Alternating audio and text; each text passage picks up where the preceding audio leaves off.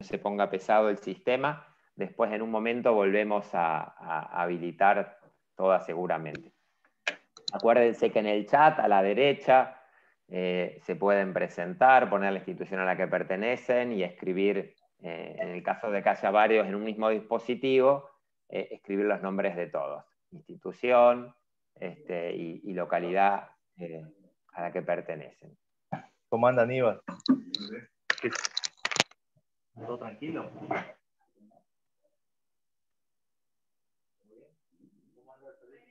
Bien, gracias. Sí, por favor.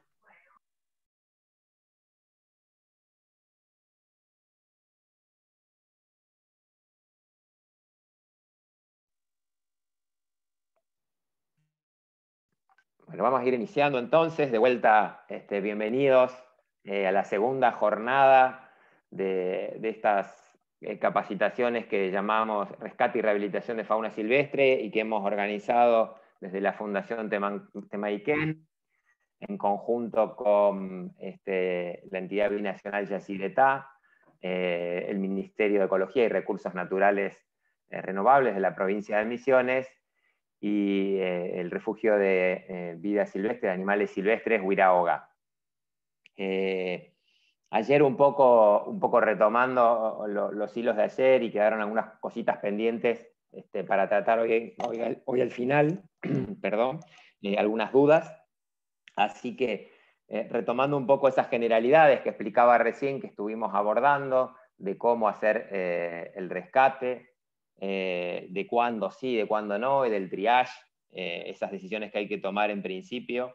Eh, antes de, meterse eh, con el tema y tener en cuenta mucho el trabajo en red, el trabajo entre las distintas instituciones, eh, pero entender muy bien esto que, desde que nosotros intervenimos con un ejemplar hasta que ese ejemplar llega a manos de un médico veterinario que lo puede atender y darle la atención que corresponde, ese proceso es tan delicado que cómo nosotros lo tratemos, cómo nosotros lo, manejemos a ese animal, en qué tipo de recinto lo traslademos y demás, eh, hace que ese bicho eh, llegue en determinadas condiciones y de eso depende si, tiene posibilidad alguna de volver a la naturaleza o no. Es decir, toda esa etapa es tan clave como la que viene después, pues si se hace de manera este, inadecuada, eh, lo que hace es comprometer justamente que ese bicho o, muera o no tenga posibilidades de regresar a la naturaleza, que es lo que todos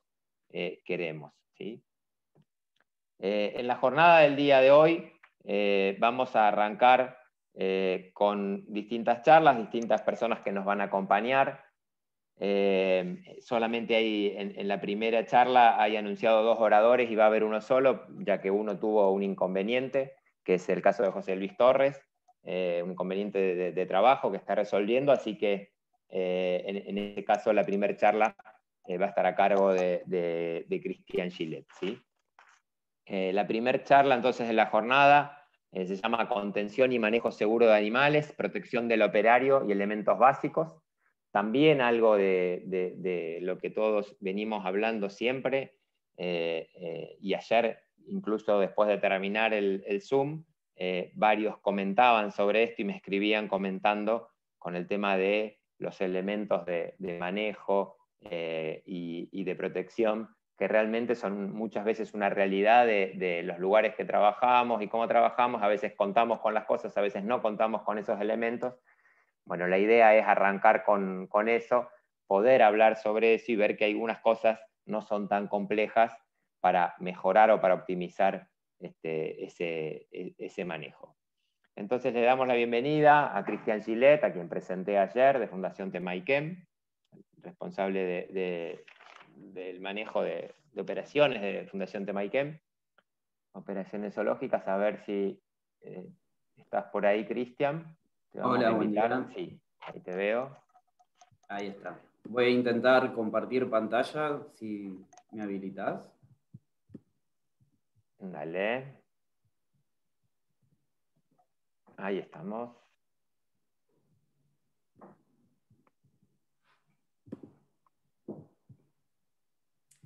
Se supone que estoy compartiendo ahí.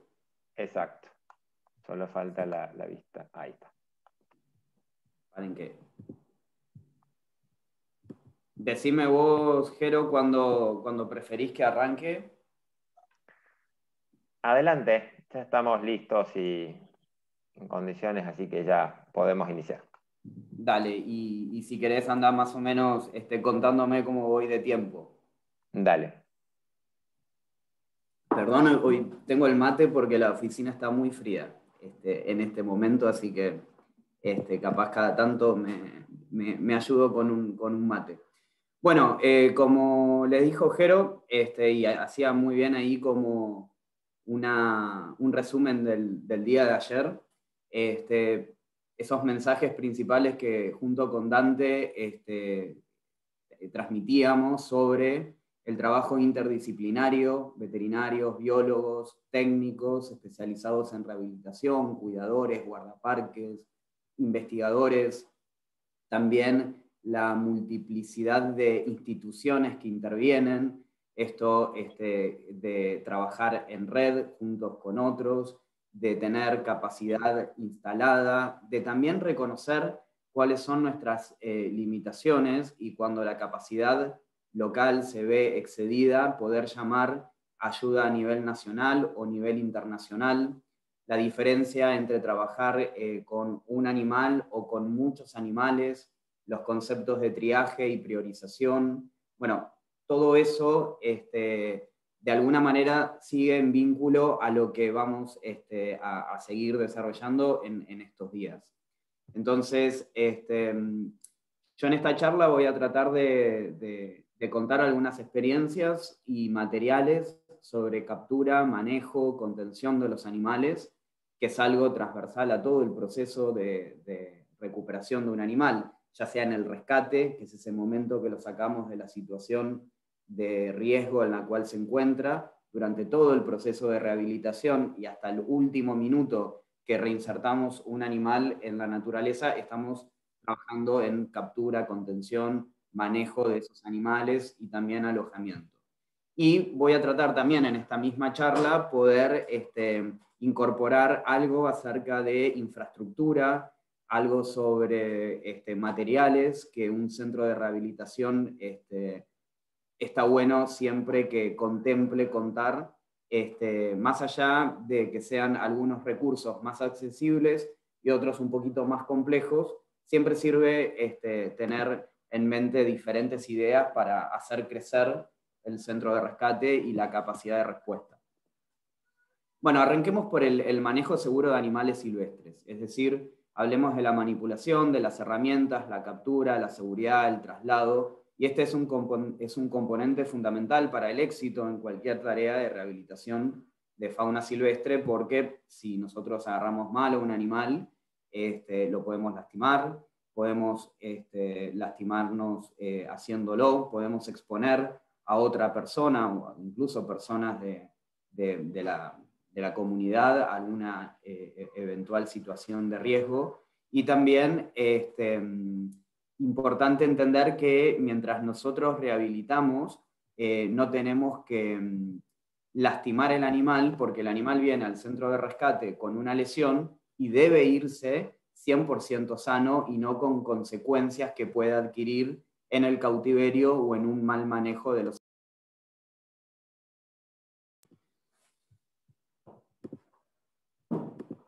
Entonces, eh, es importante evaluar las situaciones de cuando trabajamos eh, con los animales cuándo eh, actuar, cuándo no actuar y eh, tener siempre en cuenta el contexto general. Pongo esa diapo ahí muy escrita por si alguno le quiere sacar foto y se guarda la información. Porque cuando uno va a capturar un animal tiene que evaluar potenciales riesgos. ¿sí? Es preferible exagerar a quedarnos cortos. Siempre nosotros en cualquier procedimiento tenemos que tener en cuenta la seguridad de las personas como primer punto, la seguridad de los animales como segundo punto y también este, la seguridad de la infraestructura y de los materiales que utilizamos. Cuando hablamos de la seguridad de las personas, no solo es la nuestra, sino de las personas que pueden estar alrededor. A mí, por ejemplo, me, me pasó el año pasado, fuimos con José Luis a capturar un lobo marino este, eh, que había incursionado en el río acá en la zona de Escobar. El lobo apareció en el medio de un barrio privado y lo primero que nos encontramos al llegar es un montón de personas alrededor del animal exponiéndose a una enfermedad eh, zoonótica, los lobos marinos suelen cursar neumonías, este, exponiéndose a que el animal los muerda y se infecte esa herida. Y cuando arrancamos la captura, tuvimos que primero ordenar la gente, porque el animal eventualmente tratando de escapar puede terminar lastimando a un tercero. Este, eh, ahí hay alguien con el micrófono prendido, si lo puede eh, mutear. Eh, podríamos poner en riesgo entonces a otra persona al intentar hacer la captura. Entonces, primer punto, evaluar potenciales riesgos.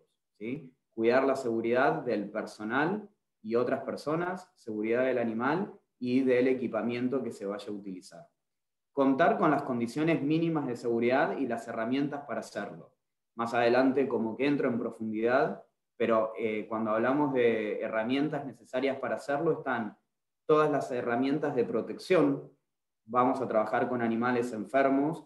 Eh, por suerte la pandemia ahora nos puso el, barbijo como algo habitual en nuestra vida pero deberíamos de utilizar siempre eh, barbijo, guantes em, de, látex para evitar alguna contaminación o incluso este, tener en cuenta de tener el guante de captura específico eh, o el, el, material para agarrar el animal y hacerlo de una manera segura y no terminar lastimándolo. ¿sí?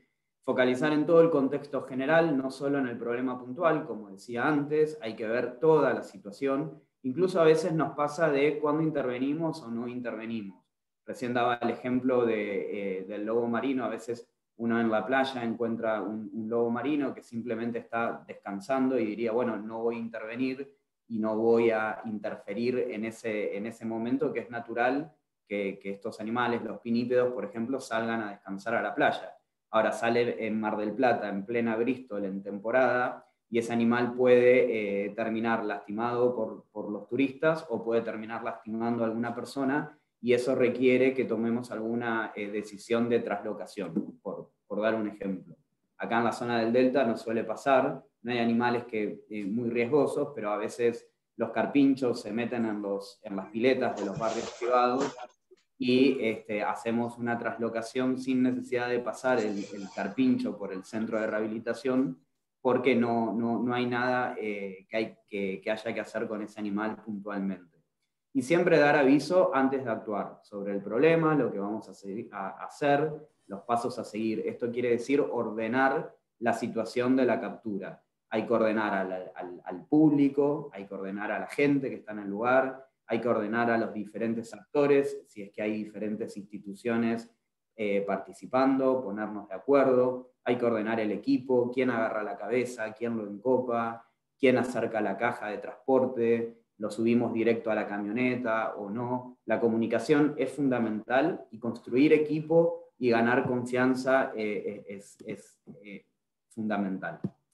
Algo a tener en cuenta, eh, registrar. ¿sí? Siempre está bueno en cualquier acción de, rescate eh, registrar todos los eventos, el lugar donde el animal se encontró, la situación, el, problema que el animal tenía al llegar al centro de rehabilitación, qué tipo de manejos hicieron, guardar su historia clínica, su historia médica, cuál fue la dieta eh, ofrecida, y después poder hacer una evaluación sobre todo eso a modo de ir eh, haciendo reajustes y ir mejorando nuestros procesos de rehabilitación a futuro, porque lo, bueno de esto es que nada está del todo escrito, estamos generando conocimiento, estamos entrenándonos, como decía ayer, una de las grandes ventajas de, ventajas de trabajar con la casuística local es prepararnos para generar procedimientos, protocolos, formas, entrenamiento de personal para actuar después frente a grandes emergencias o cuando este, nos vemos este, desafiados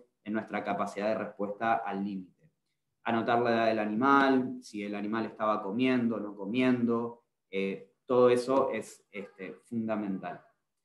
Otra cosa que es interesante entender cuando uno trabaja en rescate y rehabilitación es que es una tarea de 24 horas 365 días al año.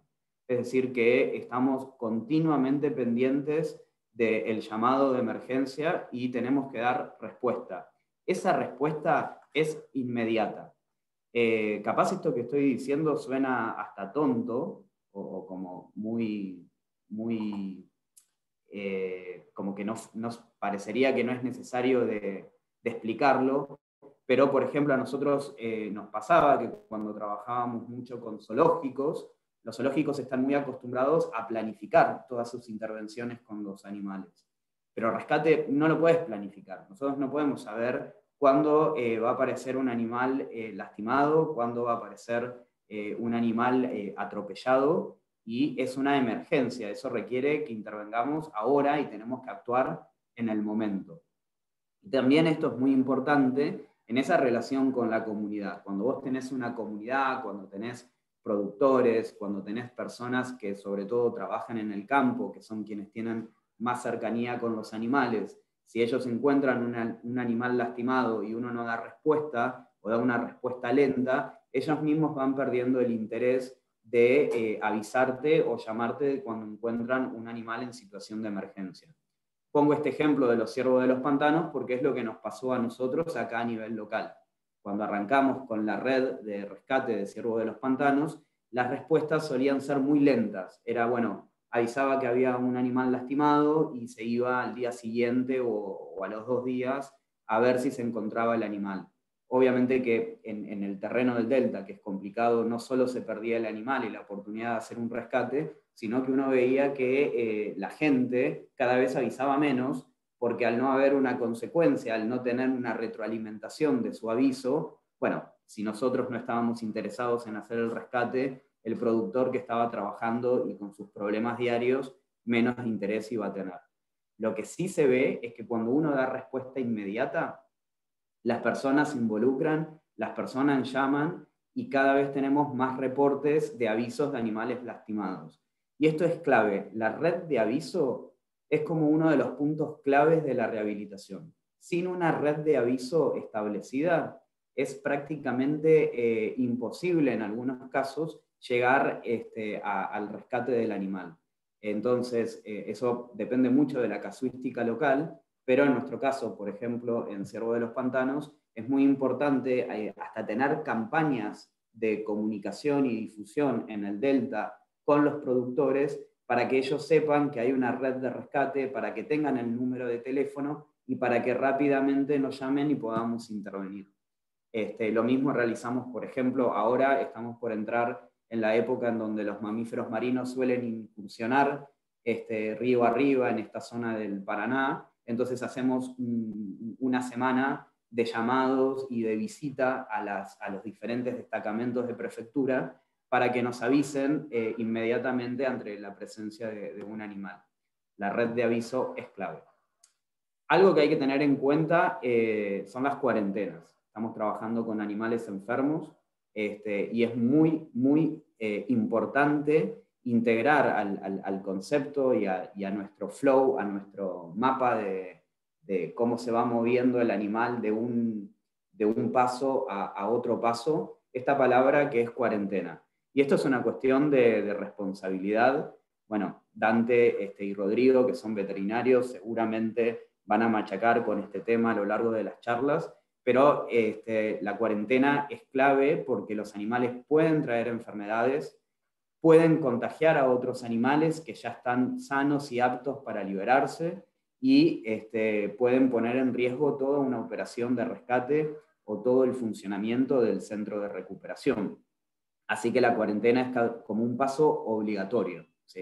Piensen que estos eh, patógenos, estas enfermedades pueden diseminarse por el sistema de ventilación, por el agua, por el sustrato, por las cajas de transporte, por los materiales de la ambientación, eh, en la ropa del personal. Entonces, son todos este, pequeños detalles que hay que construir y tener en cuenta para hacer eh, un manejo sanitario que sea responsable y coherente con el objetivo que tenemos, que es reinsertar animales sanos a la naturaleza no solo este, asegurando la supervivencia de ese individuo, sino también cuidando la salud de las poblaciones silvestres.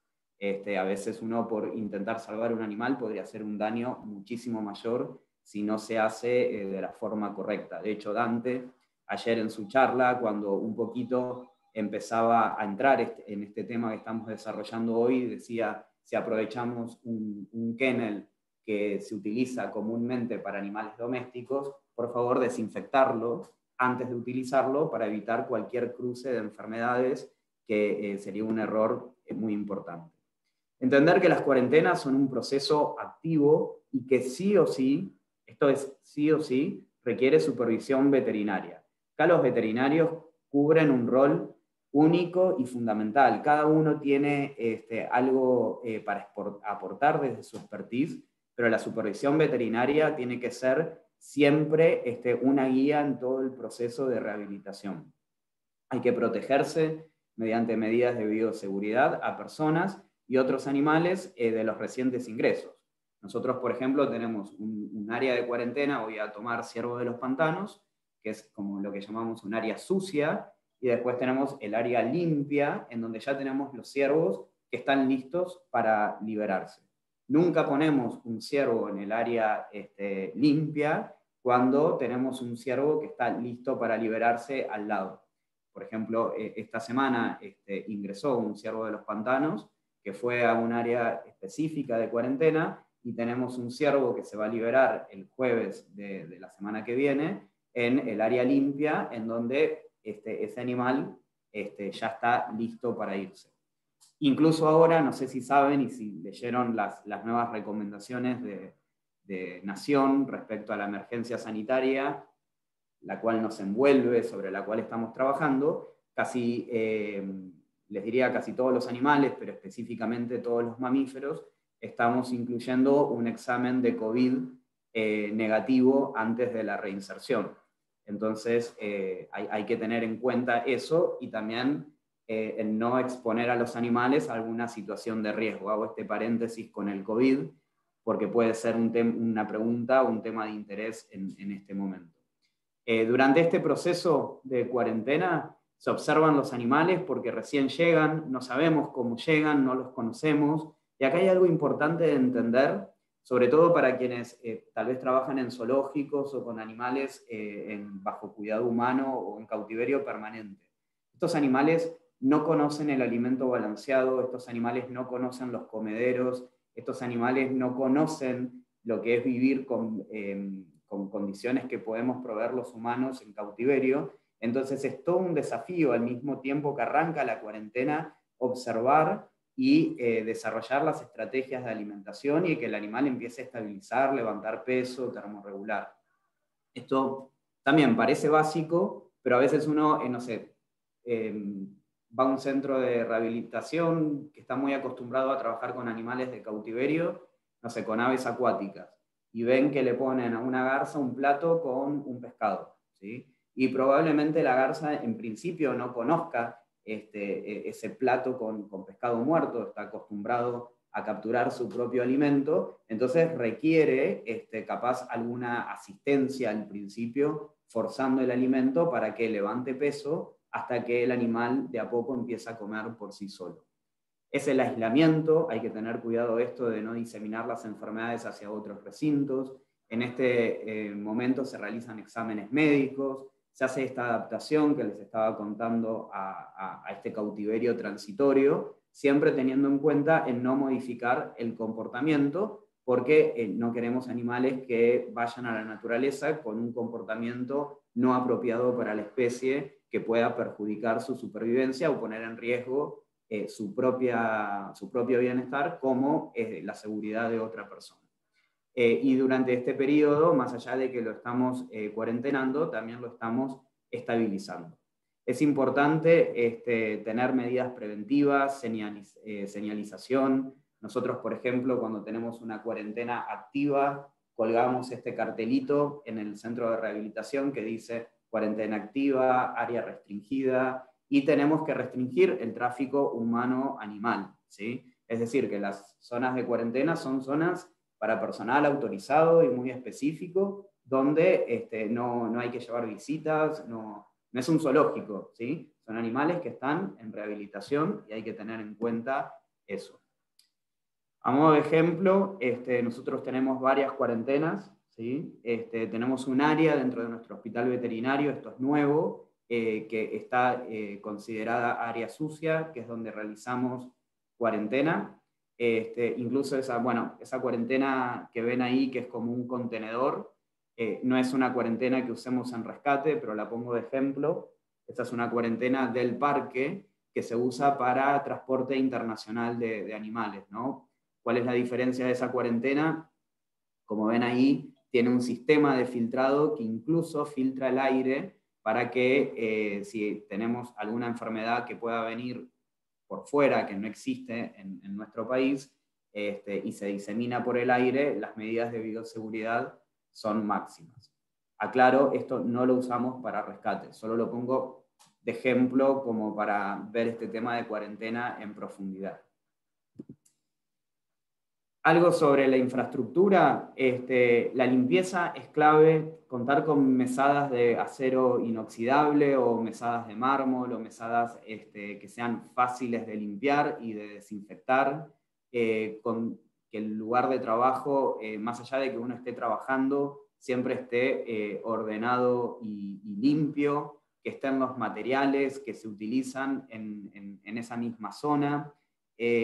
todo eso es básico, pero eh, marca una diferencia muy grande en todo lo que es el manejo de los animales durante la rehabilitación.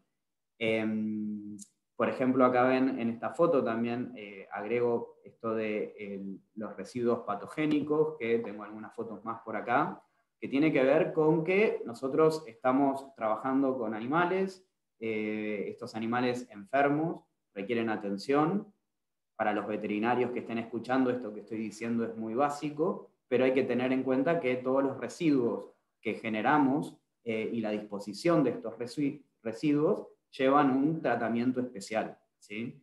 Este, y además de eso, hay que tener en cuenta todos los desechos de las necropsias o de los animales muertos, es decir, la disposición del material biológico este, que puede generar un centro de rehabilitación es muy importante contar con, todo un procedimiento o un protocolo para el manejo de esto y desde ya que eh, si alguno está interesado, nosotros podemos compartir nuestros protocolos este, con quien lo desee.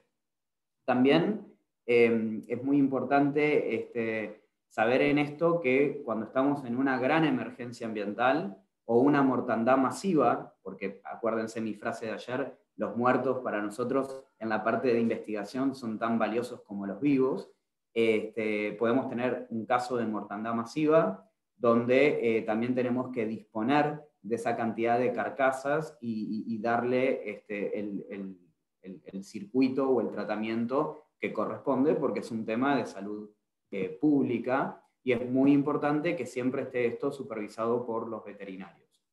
Laboratorios que pueden ser propios, nosotros eh, trabajamos de las dos maneras.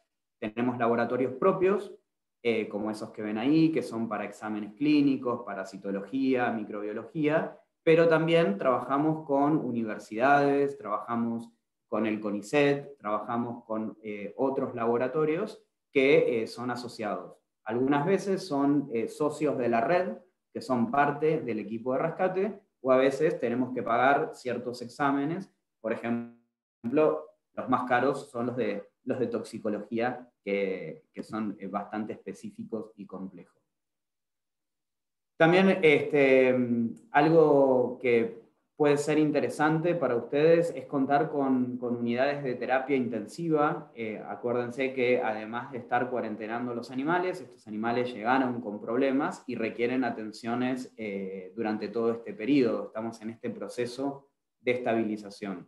Entonces, manejar la cantidad de luz, este, manejar que sea un ambiente con mucho silencio, que sea un ambiente muy cuidado, un ambiente fácil de desinfectar, jaulas contenedoras fáciles de desinfectar. Este no es un momento para em, exagerar en recintos muy grandes, tal vez, eh, que sí puede ser importante para otra parte de la rehabilitación, pero sí tienen que estar construidos con materiales que se pueden desinfectar y reutilizar rápidamente, como por ejemplo esta unidad de terapia que ven ahí, que es de plástico, por ejemplo. ¿sí? o eh, ahora van a ver algunas jaulas de acero inoxidable, etc.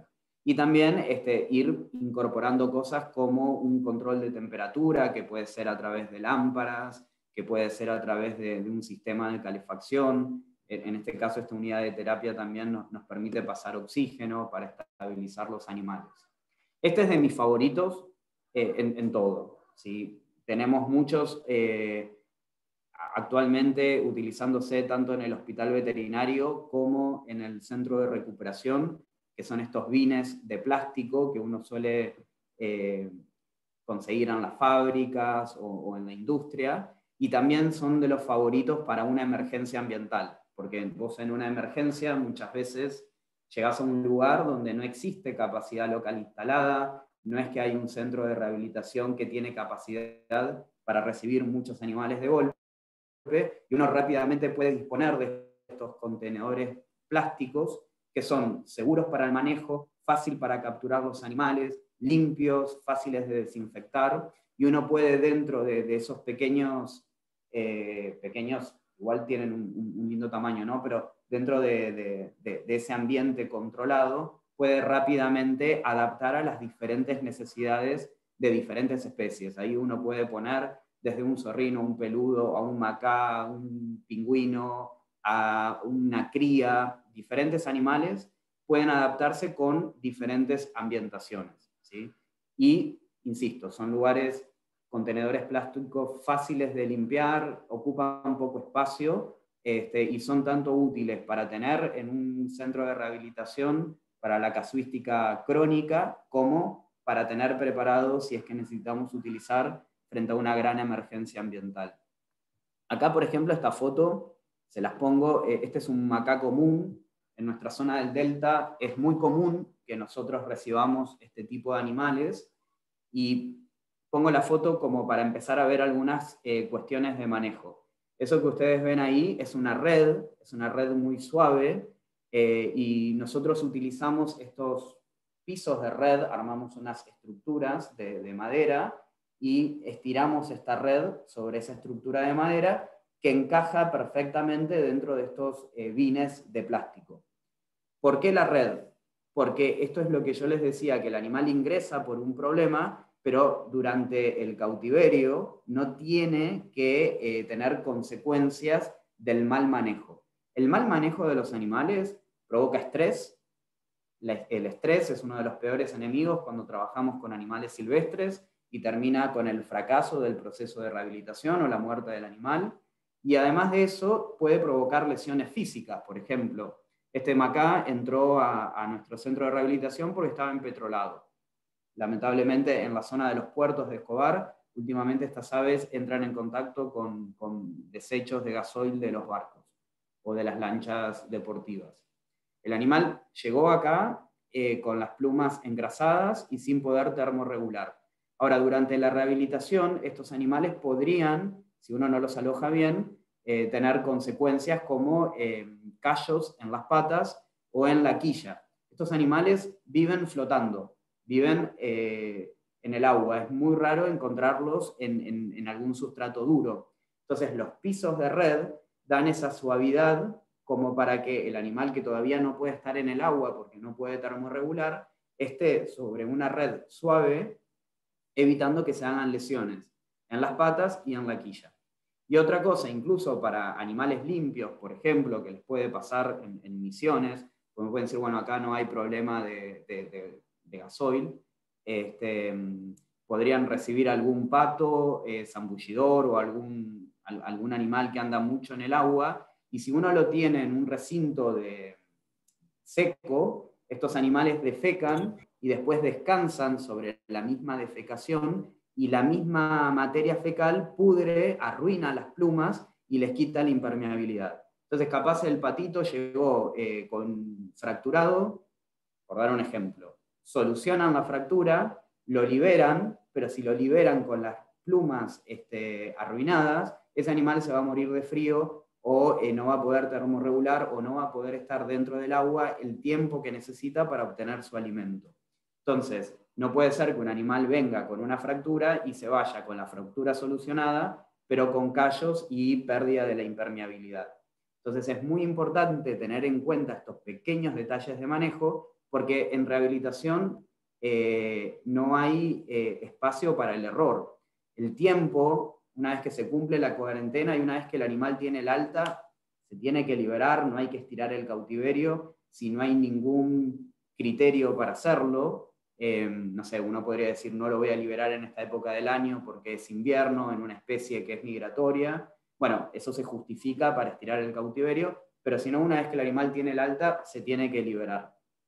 Tenemos que tener mucho cuidado durante todo el manejo, que los animales no tengan consecuencias por el manejo, porque se tienen que ir 100% aptos a la naturaleza para poder sobrevivir. Este es un ejemplo, es un error muy común con, las aves acuáticas que eh, tiene que ver con, estos errores de manejo que después uno ve eh, las patas lastimadas, las quillas, la pluma arruinada. Y bueno, Dante, que, es veterinario, le puede decir lo que uno eh, podría demorar en solucionar estos callos.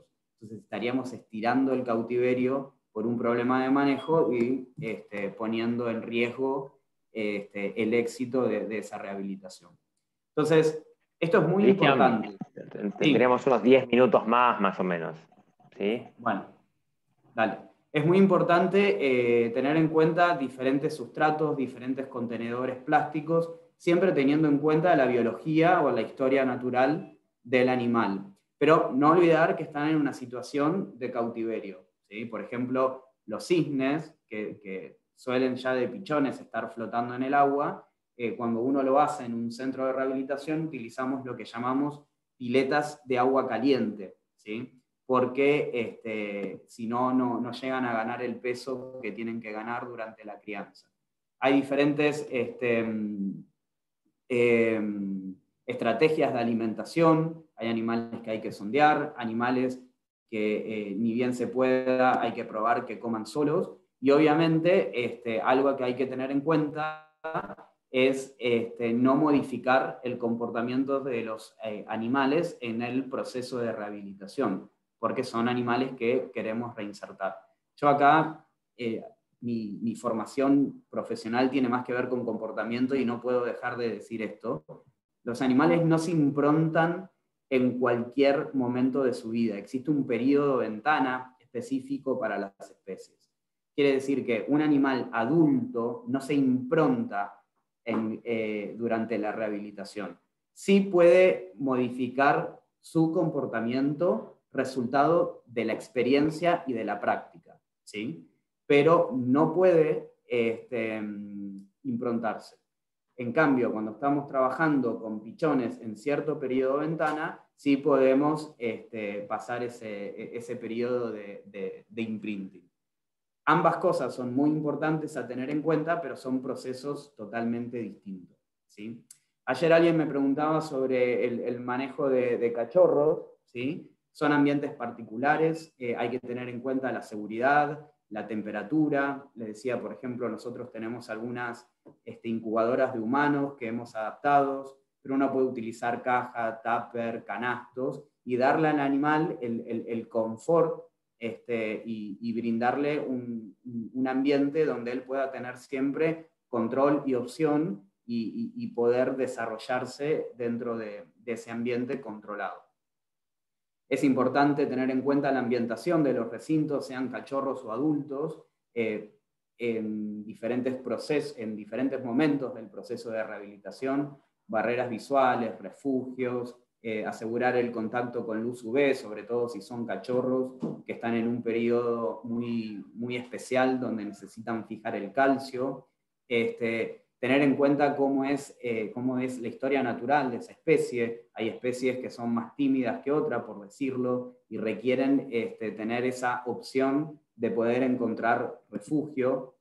Este, hay elementos de trabajo, por ejemplo, si están trabajando con animales huérfanos, que son fundamentales, balanzas, toallas, mantas, guantes, barbijos, elementos de alimentación, jeringas, este, sondas, tetinas, contar en el centro de rehabilitación según las especies que comúnmente reciben diferentes tamaños de tetinas, humidificador, el baño María para poder eh, calentar la leche, todo eso es eh, fundamental.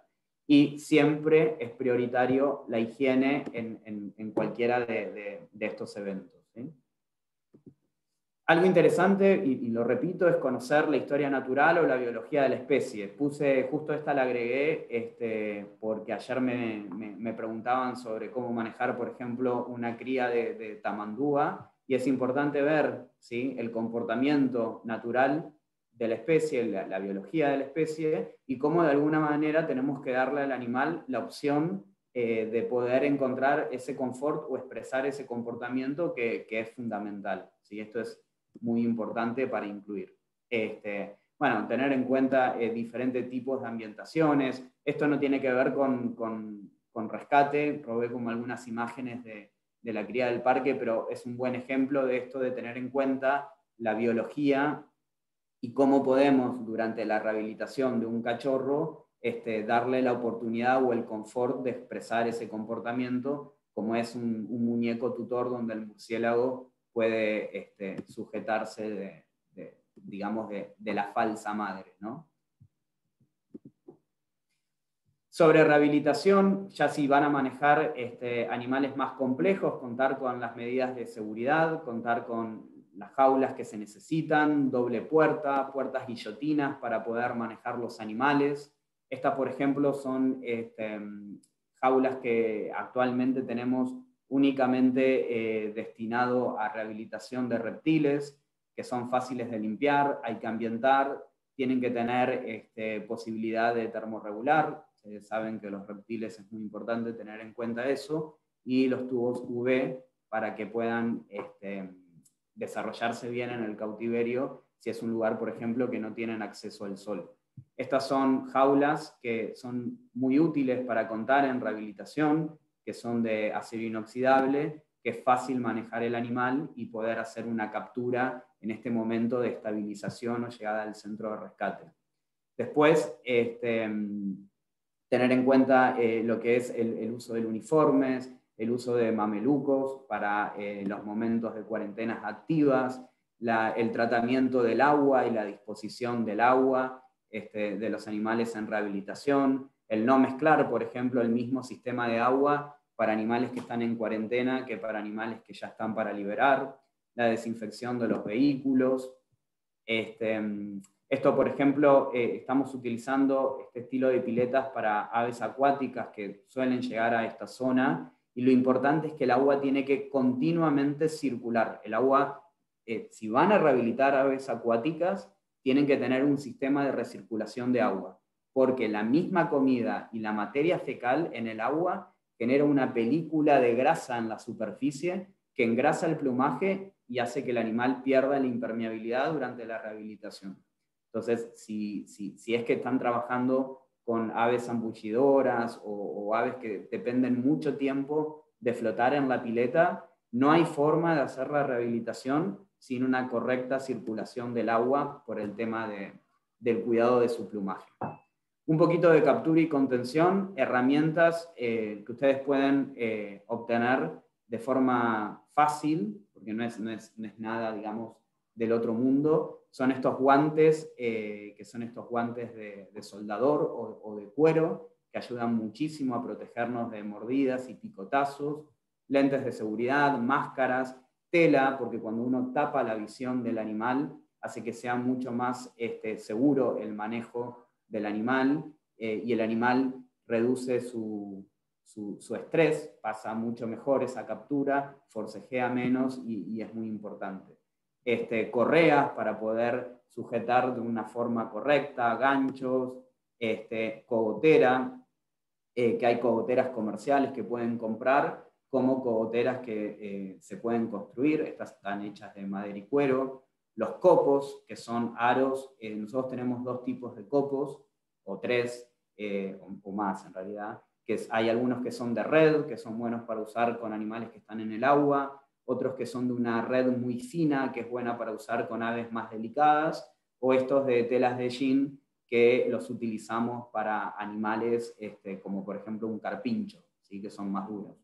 Lazos, camillas, capucha para cubrir la visión, eh, escudos, los escudos protegen a la persona y también los escudos nos ayudan para guiar a los animales hasta una caja de transporte, por ejemplo, sin necesidad de eh, hacer una captura que es más invasiva e insegura para el animal o, la persona, como también nos permiten improvisar mangas o direccionar el movimiento en cómo, uno, un animal se va a mover, tanto en el momento de una captura de un rescate como en el momento de una reinserción, o proteger a las personas que están mirando en una captura eh, o una reinserción, porque a veces nos suele pasar que tenemos que hacer este, estas capturas o sueltas con personas que están mirando y eventualmente el animal podría darse vuelta y podría poner en riesgo alguna de las personas. Entonces los escudos son un, elemento fundamental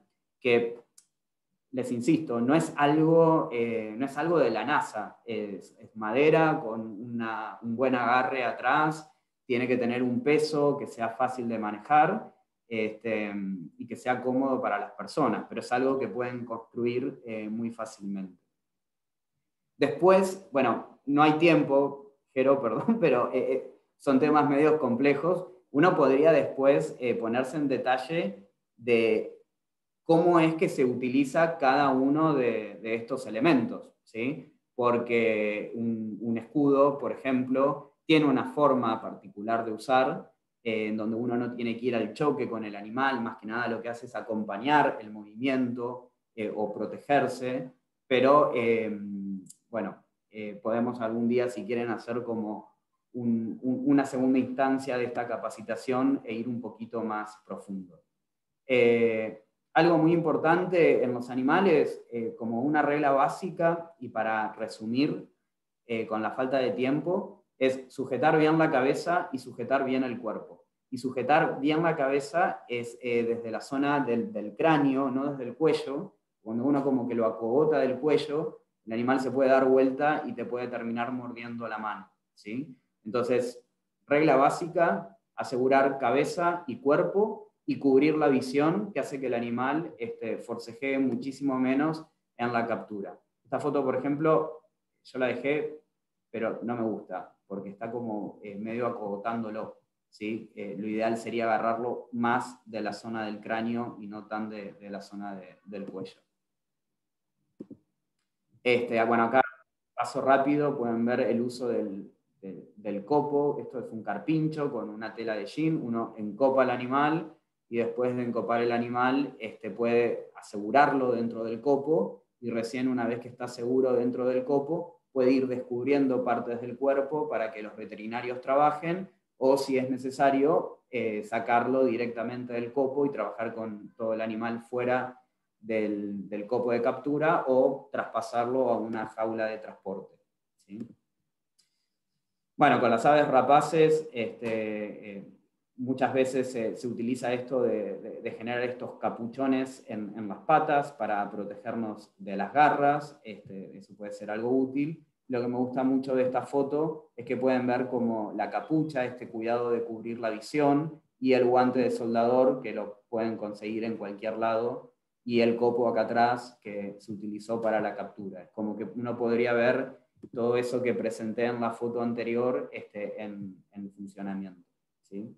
Eh, más allá de, la captura del jote, lo importante en, esta foto, que no tiene guantes, este, así que ahí eh, lo escrachamos al, que está haciendo la captura, pero eh, lo importante es tener en cuenta las narinas y no quitarle a los animales la posibilidad de respirar en forma cómoda. En este caso usamos los dedos como una pinza que permite que si el animal necesita abrir el pico o jadear, puede hacerlo y, por ejemplo, disipar calor, si es que el animal está, por ejemplo, en un baño, un animal que estamos en un baño con detergente porque perdió la impermeabilidad, a veces empiezan a jadear por el estrés y el calor y es necesario que ellos puedan eh, respirar con, comodidad. Nunca bandar el pico, ¿sí? Y tener en cuenta que hay algunas aves que tienen como una falsa narina, ¿sí? Y si uno le, le cierra el pico con cinta o con una bandita, lo puede terminar ahogando y, matando. ¿Sí? Eso es muy importante. En el caso de aves, como línea general, sujetar la cabeza, cubrir la visión con un trapo idealmente, sujetar las patas utilizando los guantes de protección que acá nos están usando y eh, abrazar el cuerpo y las alas para contenerlo de una forma segura.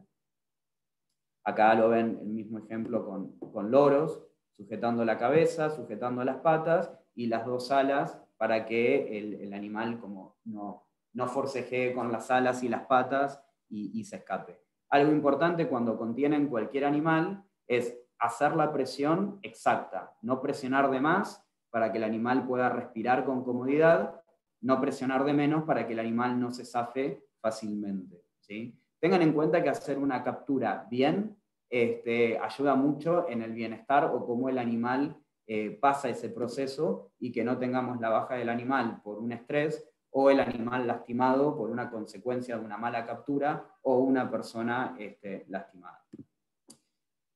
Cajas de transporte, Dante ayer lo mostraba, este, así que hay diferentes cajas que lo mismo. Este, a veces a nosotros nos pasa que nos dicen, bueno, para ustedes es fácil porque tienen recursos. Eh, estas cajas las hacen los mismos cuidadores con fenólico y porque tenemos dos cuidadores que son unos genios usando herramientas. Pero es fenólico, mayacima, unas guías y se pueden construir cajas de transporte que son seguras para los animales, que van a aumentar la supervivencia en el traslado, que son económicas este, y, que realmente hacen una diferencia entre transportar el animal en algo adecuado o inadecuado. Tener esta, en cuenta esto de telas que cubren la visión, los agujeros para que haya una correcta ventilación, para algunos animales como carpinchos, cubrir la madera por dentro con malla porque los animales suelen morder y, hacer agujeros, ver este, en algunos casos eh, alfombras o colchones en el techo, en el piso o en las paredes para evitar golpes. Algo, por ejemplo, eh, que es muy importante, piensen que capaz un animal está viajando a la liberación en una de estas jaulas y si el animal se raspa dentro de la jaula y uno lo libera, ese animal se va herido y se puede hacer una bichera o se puede infectar esa herida. Entonces, estamos haciendo un traslado en donde no, no deberíamos de tener este, nunca este, algún animal con una consecuencia por algún manejo.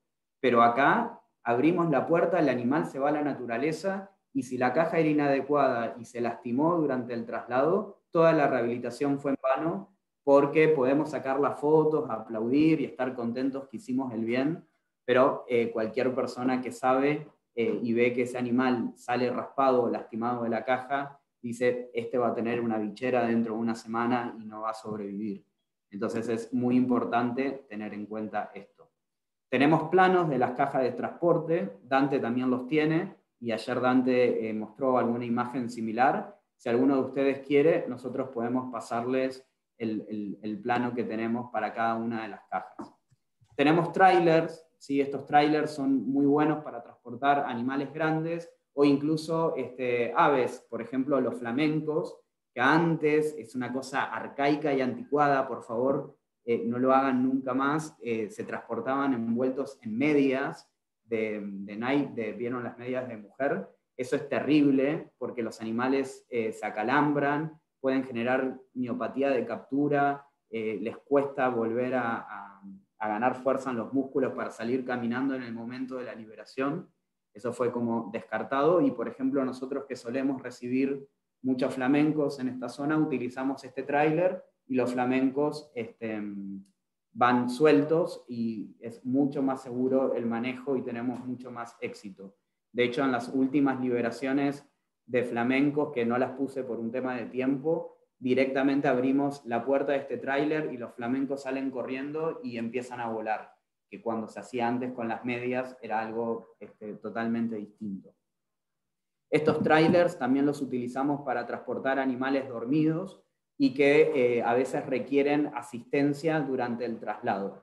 Así que también eh, está bueno contar con esto para, eh, alguna anestesia o que requiera un traslado de un animal anestesiado. El tráiler para animales grandes o bandadas de aves es fundamental. También estamos utilizando estos trailers que tienen buena ventilación para los grandes decomisos.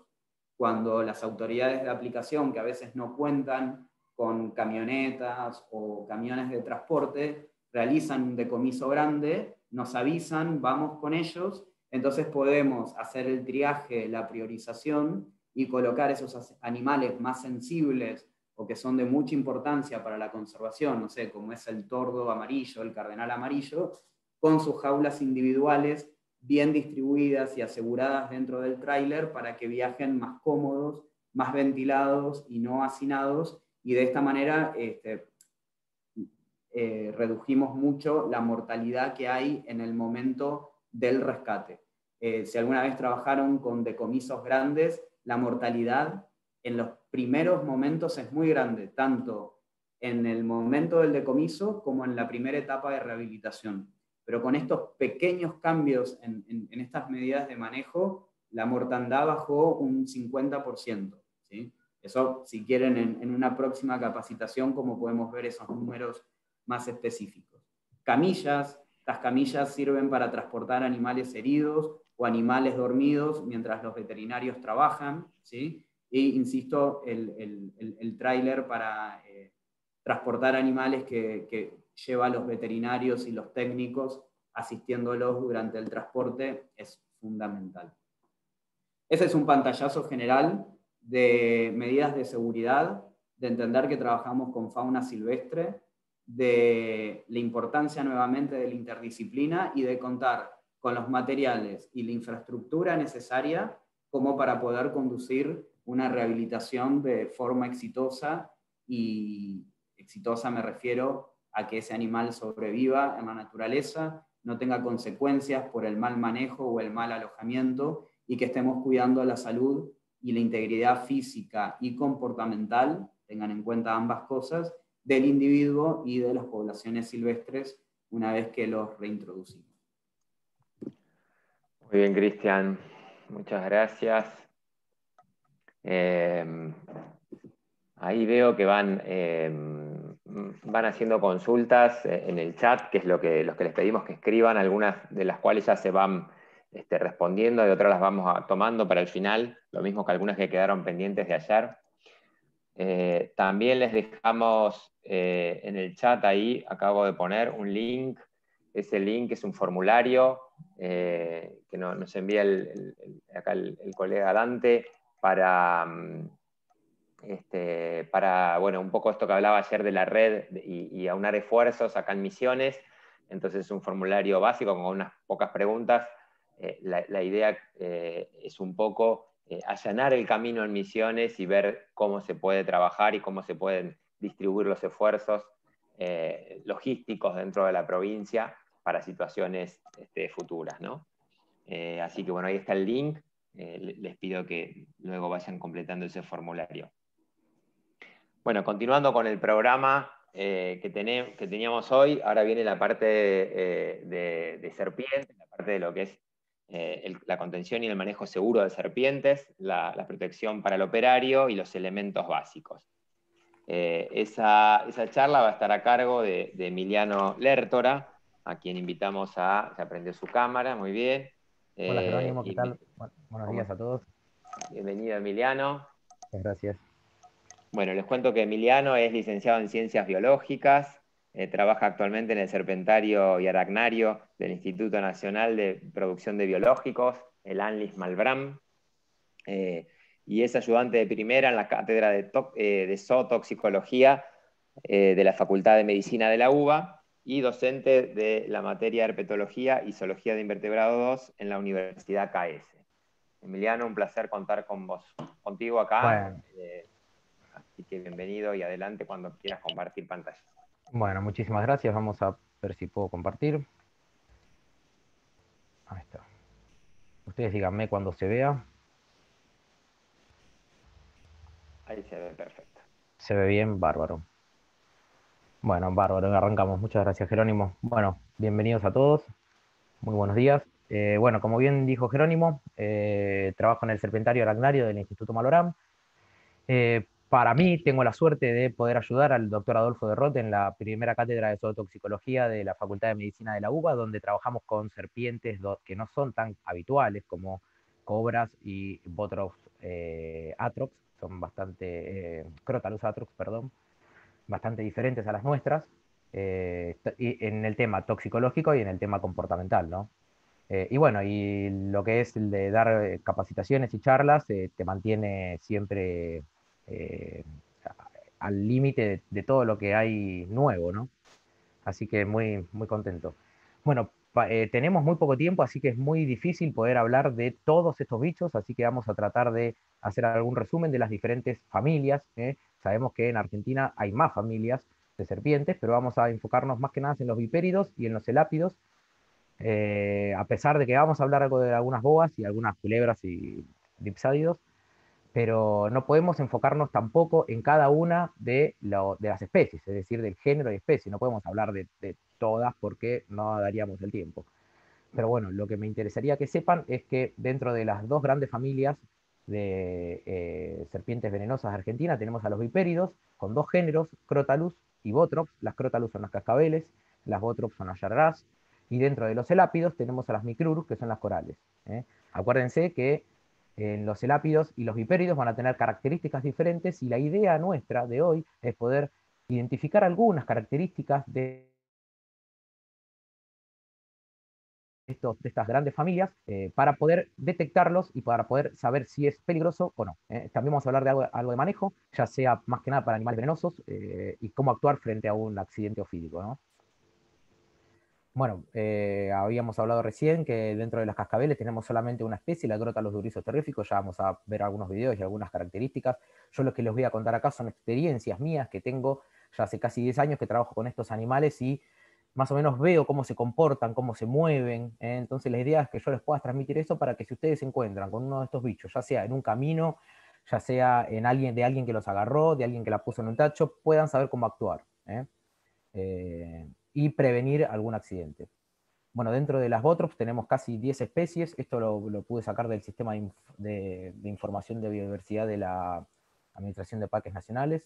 Y las micruros también puede ser que esté un poco desactualizado, creo que falta la tricolor, pero bueno, en el último congreso de la AJA la habían puesto, pero eso no es tan importante.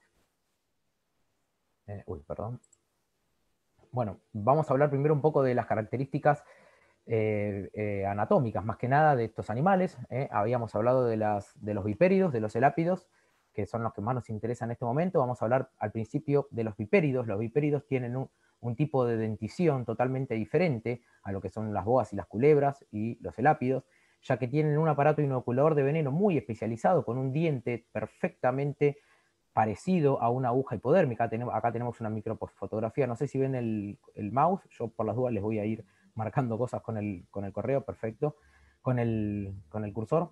Así que esta, este diente, este diente inoculador de veneno está conectado a una glándula salival modificada, ¿eh? esa glándula salival, imagínensela como si fuera una perita sacamoco de bebé, que está más o menos ubicada abajo del ojo. ¿eh? Eh, esta perita sacamoco de bebé, que es la glándula salival, se va a ir concentrando de proteínas y a medida que va pasando el tiempo, esas proteínas se van a concentrar y se van a ir conformando en esa saliva tóxica que utiliza este, este, esta especie para poder matar a sus presas y para poder alimentarse. ¿no? Al no tener una, una dentadura para fijar a la presa, como es el caso de los boidos o de las pitones, eh, y poder enroscarla con el cuello, al no tener esa musculatura, tuvo que desarrollar este tipo de dentición para poder eh, inmovilizar a la presa. Eh, es muy interesante porque, aparte de tener esta dentadura, tiene también unos receptores de temperatura, donde, que se llaman fosetas loreales, que se pueden hasta, hasta ver el, dónde están ubicadas en el cráneo. entonces, esto le indica al animal que cualquier animal de sangre caliente lo va a poder detectar. Este es un bicho que se alimenta de animales de sangre caliente, ya sean aves o algún mamífero pequeño. Eh, bueno, ¿qué pasa con el tema de las protegroglifas? Las protegroglifas, que es las familias de las elápidas, de, las corales, las cobras, las mambas, eh, todas estas familias van a tener una dentición totalmente diferente a las de las solenoglifas, las de los vipéridos. Eh. estas los tenían las cascabeles y las yargás, estas los tienen las corales.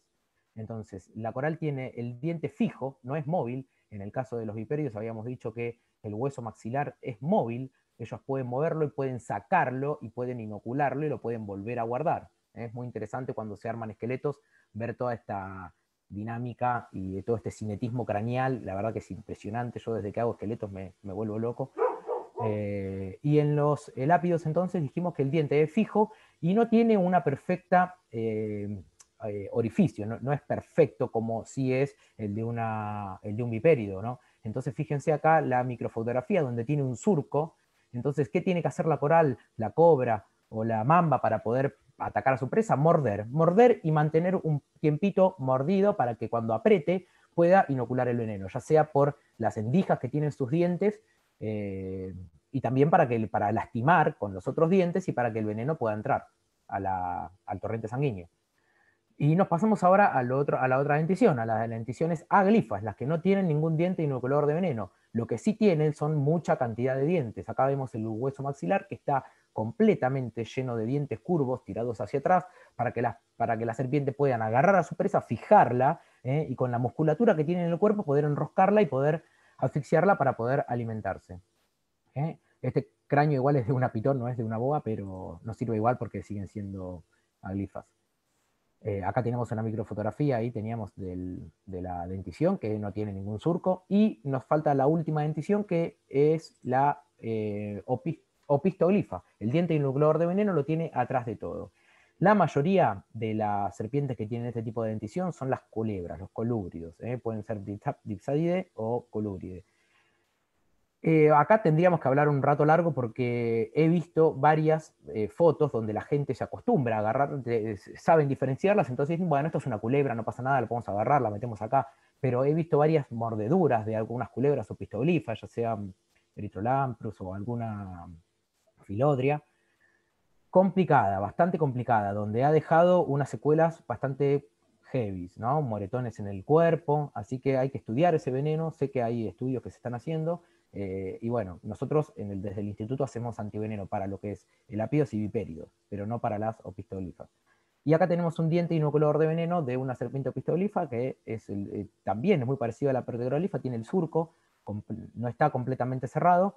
¿eh? Esto les ayuda entonces a cuando comen sapos generalmente, anfibios, peces, con esos dientes ya puedan ir predigiriendo a la presa, la puedan ir, le puedan ir inyectando alguna toxina como para poder eh, cuando se las está tragando como para poder ya empezar a digerirlas. ¿eh? Así que ahí vimos todas las dentaduras que nos podemos llegar a encontrar. Obviamente las más peligrosas son las de los vipéridos, yarara cascabel, las de los celápidos también son peligrosas, ya vamos a, enfocarnos en su veneno. Dijimos que también las de las opistoglifas son bastante heavy, aunque no haya un antiveneno. ¿Y qué pasa con las aglifas? Si bien no son peligrosas porque no tienen un veneno, pueden llegar a tener alguna infección en la saliva y en algunos casos pueden ser deportes muy grandes y pueden llegar a eh, a lastimar en el sentido de que con, la velocidad con la que ataca, ¿no? ¿Eh? Nos pueden llegar a hacer algunos moretones, desgarros, eh, y si hablamos de pitones gigantes, como bueno, las de Inspectores Pets o algunas pitones esas reticuladas modificadas enormes, podrían llegar a ser hasta más peligrosos que una serpiente venenosa. Imagínense un cráneo de unos 10, 12 centímetros mordiendo en un cuerpo, puede desgarrar, pero impresionante.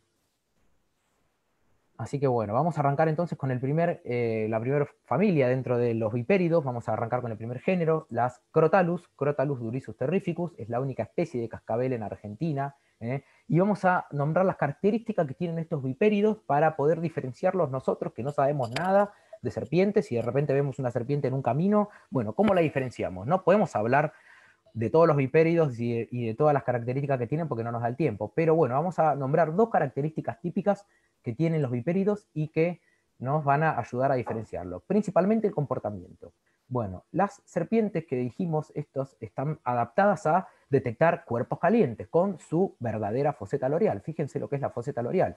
Se ve la nariz, se ve el ojo con pupilas elípticas y se ve un agujero enorme entre la narina y el ojo. Esa es la foseta loreal. Mismo cuando, cuando armo los cráneos se ve el lugar donde está ubicada esa escama, esa foseta, ¿eh? para poder, eh, donde debe tener los receptores para poder detectar como si fueran esas cámaras térmicas que ven mucho más rojo lo caliente y mucho más azul lo frío. Bueno, es más o menos algo parecido. El otro comportamiento típico que tienen es hacerse torta, ¿eh? hacerse un círculo, esperar a que venga lo que lo va a atacar o lo que se piensa que lo va a atacar, ya seamos nosotros, un perro o un, animal silvestre. Eh, y el otro, el otro, la otra técnica es avisar, siempre moviendo la cola, nos vamos a dar cuenta que es una cascabel porque vamos a mover la cola y va a hacer ruido, pero nos puede pasar como en este caso, que tiene un solo cascabel, entonces no genera un ruido tan fuerte. Yo igual silencié los, micrófonos porque se suelen... Ah, bueno. En, algunos casos se escucha mucho el ruido de las cascabeles y es insoportable, porque el, ruido verdaderamente es muy fuerte. Entonces lo vamos a escuchar.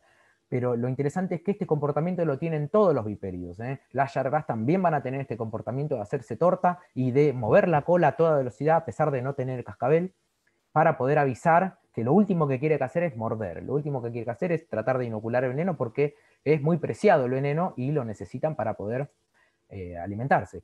La otra característica es las escamas como, si fuera una quilla, ¿eh? una escama como si fuera con una carena, como, como, si fuera una protuberancia. No es una escama lisa como podemos ver en las boas o en algunas culebras. ¿eh?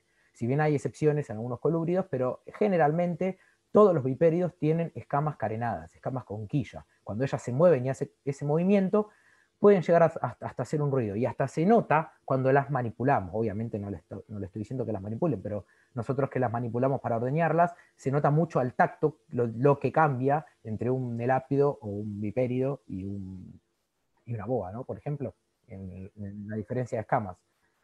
Eh, otra cosa interesante que les quiero contar y que les voy a mostrar son diferentes tipos de ataques. Perdón si hay alguno medio sensible, pero bueno, la idea de esto es que puedan ver la velocidad con la que atacan, ¿eh? Nosotros generalmente usamos alimento muerto, pero bueno, en algunos casos podemos usar alimentos vivos como para poder mostrar estas, estas secuencias. Fíjense la velocidad con la que la cascabel atacó, ¿eh? ¿Eh? y el ratón, con el volumen de sangre que tiene y con el volumen de veneno que le puede haber inyectado, instantáneamente termina con un paro cardiorrespiratorio. Vamos a hablar un poquito del veneno de, estas, de estos bichos. Bueno, es una mezcla de miotoxinas con neurotoxinas. Las miotoxinas, la palabra nos lo está diciendo, eh, va a afectar al músculo del cuerpo, es decir, va a, producir una mioglobinuria. Eso significa que toda la mioglobina digerida va a pasar por todos nuestros vasos sanguíneos, va a terminar en nuestro riñón y nos vamos a terminar muriendo de una insuficiencia renal, aparte de orinar como si fuera Coca-Cola, bien, bien oscuro. Es el signo típico de una picadura de cascabel. Y otro, otro síntoma bastante común es el de las neurotoxinas. Las neurotoxinas van a afectar a la sinapsis de las neuronas, ya sean las más chiquititas de la cara o del cuerpo. Por eso antiguamente, no les quise poner ninguna foto de accidentes, pero antiguamente hay una foto muy conocida de una señora picada en el Instituto Butantan que no puede abrir los ojos y que tampoco puede hablar, está completamente así como si fuera borracha. Por eso le dicen cara de bebado. Antiguamente, cuando iban los eh, accidentados a los hospitales, ya sea al Butantan o a, cualquier hospital, pensar que hace más de 100 años que se producen los antídotos, eh, iban y les decían, me vino una seruniente, no podían hablar y capaz que se pensaban que estaban borrachos y los terminaban mandando a la casa. Entonces, mm, bueno, hay que ver bien cuál es la sintomatología. Las personas no pueden abrir los ojos, no pueden hablar y es complicado también para comunicarse. Entonces, eh, bueno, hablamos de los signos típicos de las cascabeles, neurotoxinas, miotoxinas, y ahí tenemos un poco de la distribución. ¿eh? Es una serpiente que se distribuye más en el norte, noreste del país, aunque puede ser que esté desactualizado y que gracias al calentamiento global y a estas temperaturas bajen un cachitín más. ¿eh? Bueno, ahí tenemos para que vean un poco también la foseta loreal, ¿eh? que se ve perfecta, se ve en la nariz, se ve la foseta, se ven las pupilas elípticas, se ven las escamas carenadas. Es el diseño típico romboide de la cascabel. ¿sí? Así que bueno, ya saben diferenciar a la cascabel, bastante simple, por la ayuda que nos da. Pasamos al otro género de importancia sanitaria, ¿eh? las botros. Las botros estamos hablando de todas las yararás.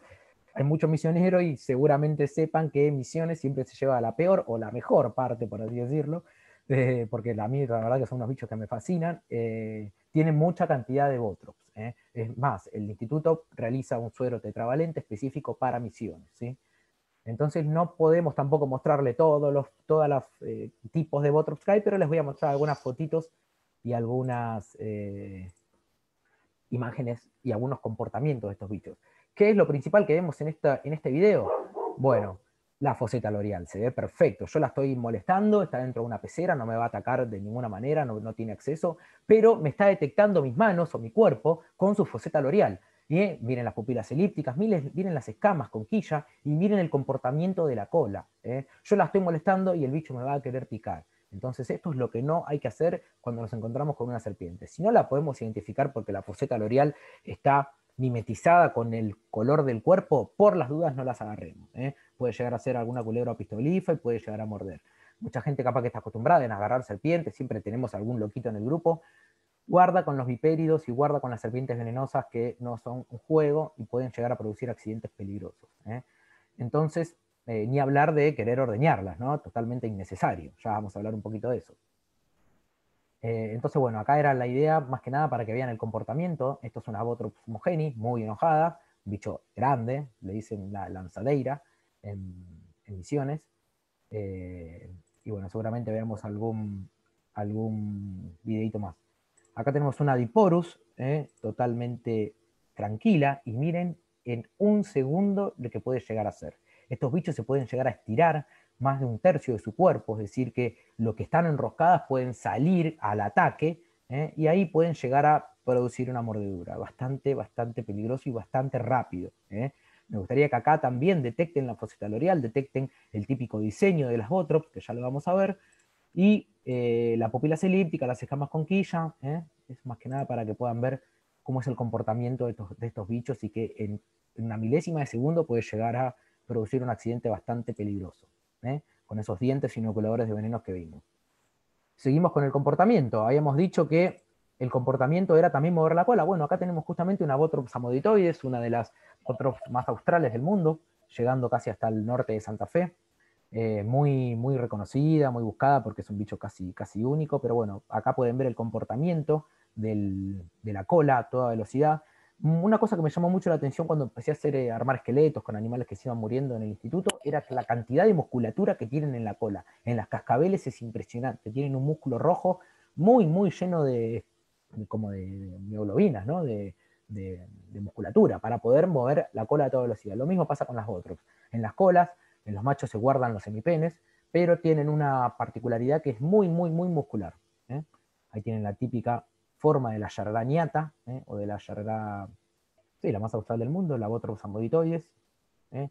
que es la única que no tiene, no sigue las reglas de los signitos de eh, los, antiguamente le decíamos tubos de teléfono, pero ya no existen los teléfonos así, así que les decimos ahora auriculares o, no sé, nos tenemos que también modernizar. Y acá vamos a ver otro ataque de las Botrops, donde podemos ver la velocidad también y que estos bichos no pican solamente una vez, ¿eh? no muerden solamente una vez, sino que pueden morder varias veces. Esto es bastante complicado cuando de repente no nos dimos cuenta si la pisamos y antes de sacar el pie ya nos mordió cuatro o cinco veces. Entonces siempre está la protección en las rodillas para abajo. La mayoría de los accidentes van a ocurrir de la rodilla para abajo, casi el 80%. El otro 20% va a ocurrir en las manos y en los lugares donde solemos eh, meter la pata, ¿no? meter la mano, por así decirlo. Eh, esto es totalmente diferente que en otros países donde eh, las serpientes venenosas son arborícolas y hay que tener cuidado con la cabeza ¿eh? o con los miembros más anteriores. En nuestro caso, nuestras serpientes venenosas son generalmente bien de, suelo y no, no, tendríamos que tener cuidado con alguna especie venenosa de árbol. ¿no?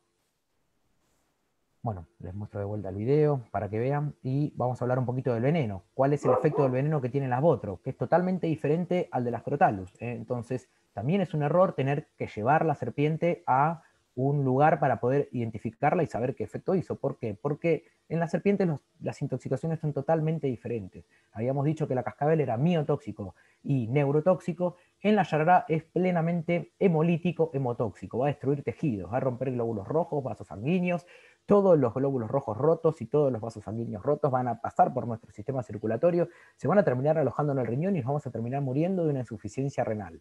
¿eh? Y ni hablar si accedemos mal a el accidente, es decir, nos pican el pie, hacemos un torniquete en la rodilla, perdemos la rodilla, porque todo el veneno se va a concentrar ahí y donde el veneno pase y haga un encuentre, un tope, va a destruir. Lo único que va a detener la destrucción que está haciendo el veneno es la aplicación del suero específico de cada especie. ¿eh? Es lo único. Ni tampoco remedios caseros, ni grasa de chancho y grasa de iguana, ni una oración, nada simplemente la aplicación del antiveneno específico va a ser lo único que nos va a poder eh, neutralizar las toxinas. ¿sí? Perfecto, vamos a ver algunos, algunas fotos de algunos vipéridos, de algunas botrops. ¿eh? Seguramente acá las reconozcan, esto es una mugeni. Eh, acá tenemos una Yararakusú, eh, acá tenemos la cabeza de una moditoides eh, con su pupila elíptica. Quiero que revisen y que puedan detectar las escamas con quilla, que revisen y puedan ver las pupilas elípticas, las fosetas loreales, como se ven perfectamente acá, pupilas elípticas, fosetas loreales, escamas con quilla. esta es la típica alternatus. Estos bichos se van a ir distribuyendo en toda la Argentina. Si contamos a todas las Yarará, vamos a tener Yarará en casi toda la Argentina, llegan hasta el sur de Santa Cruz.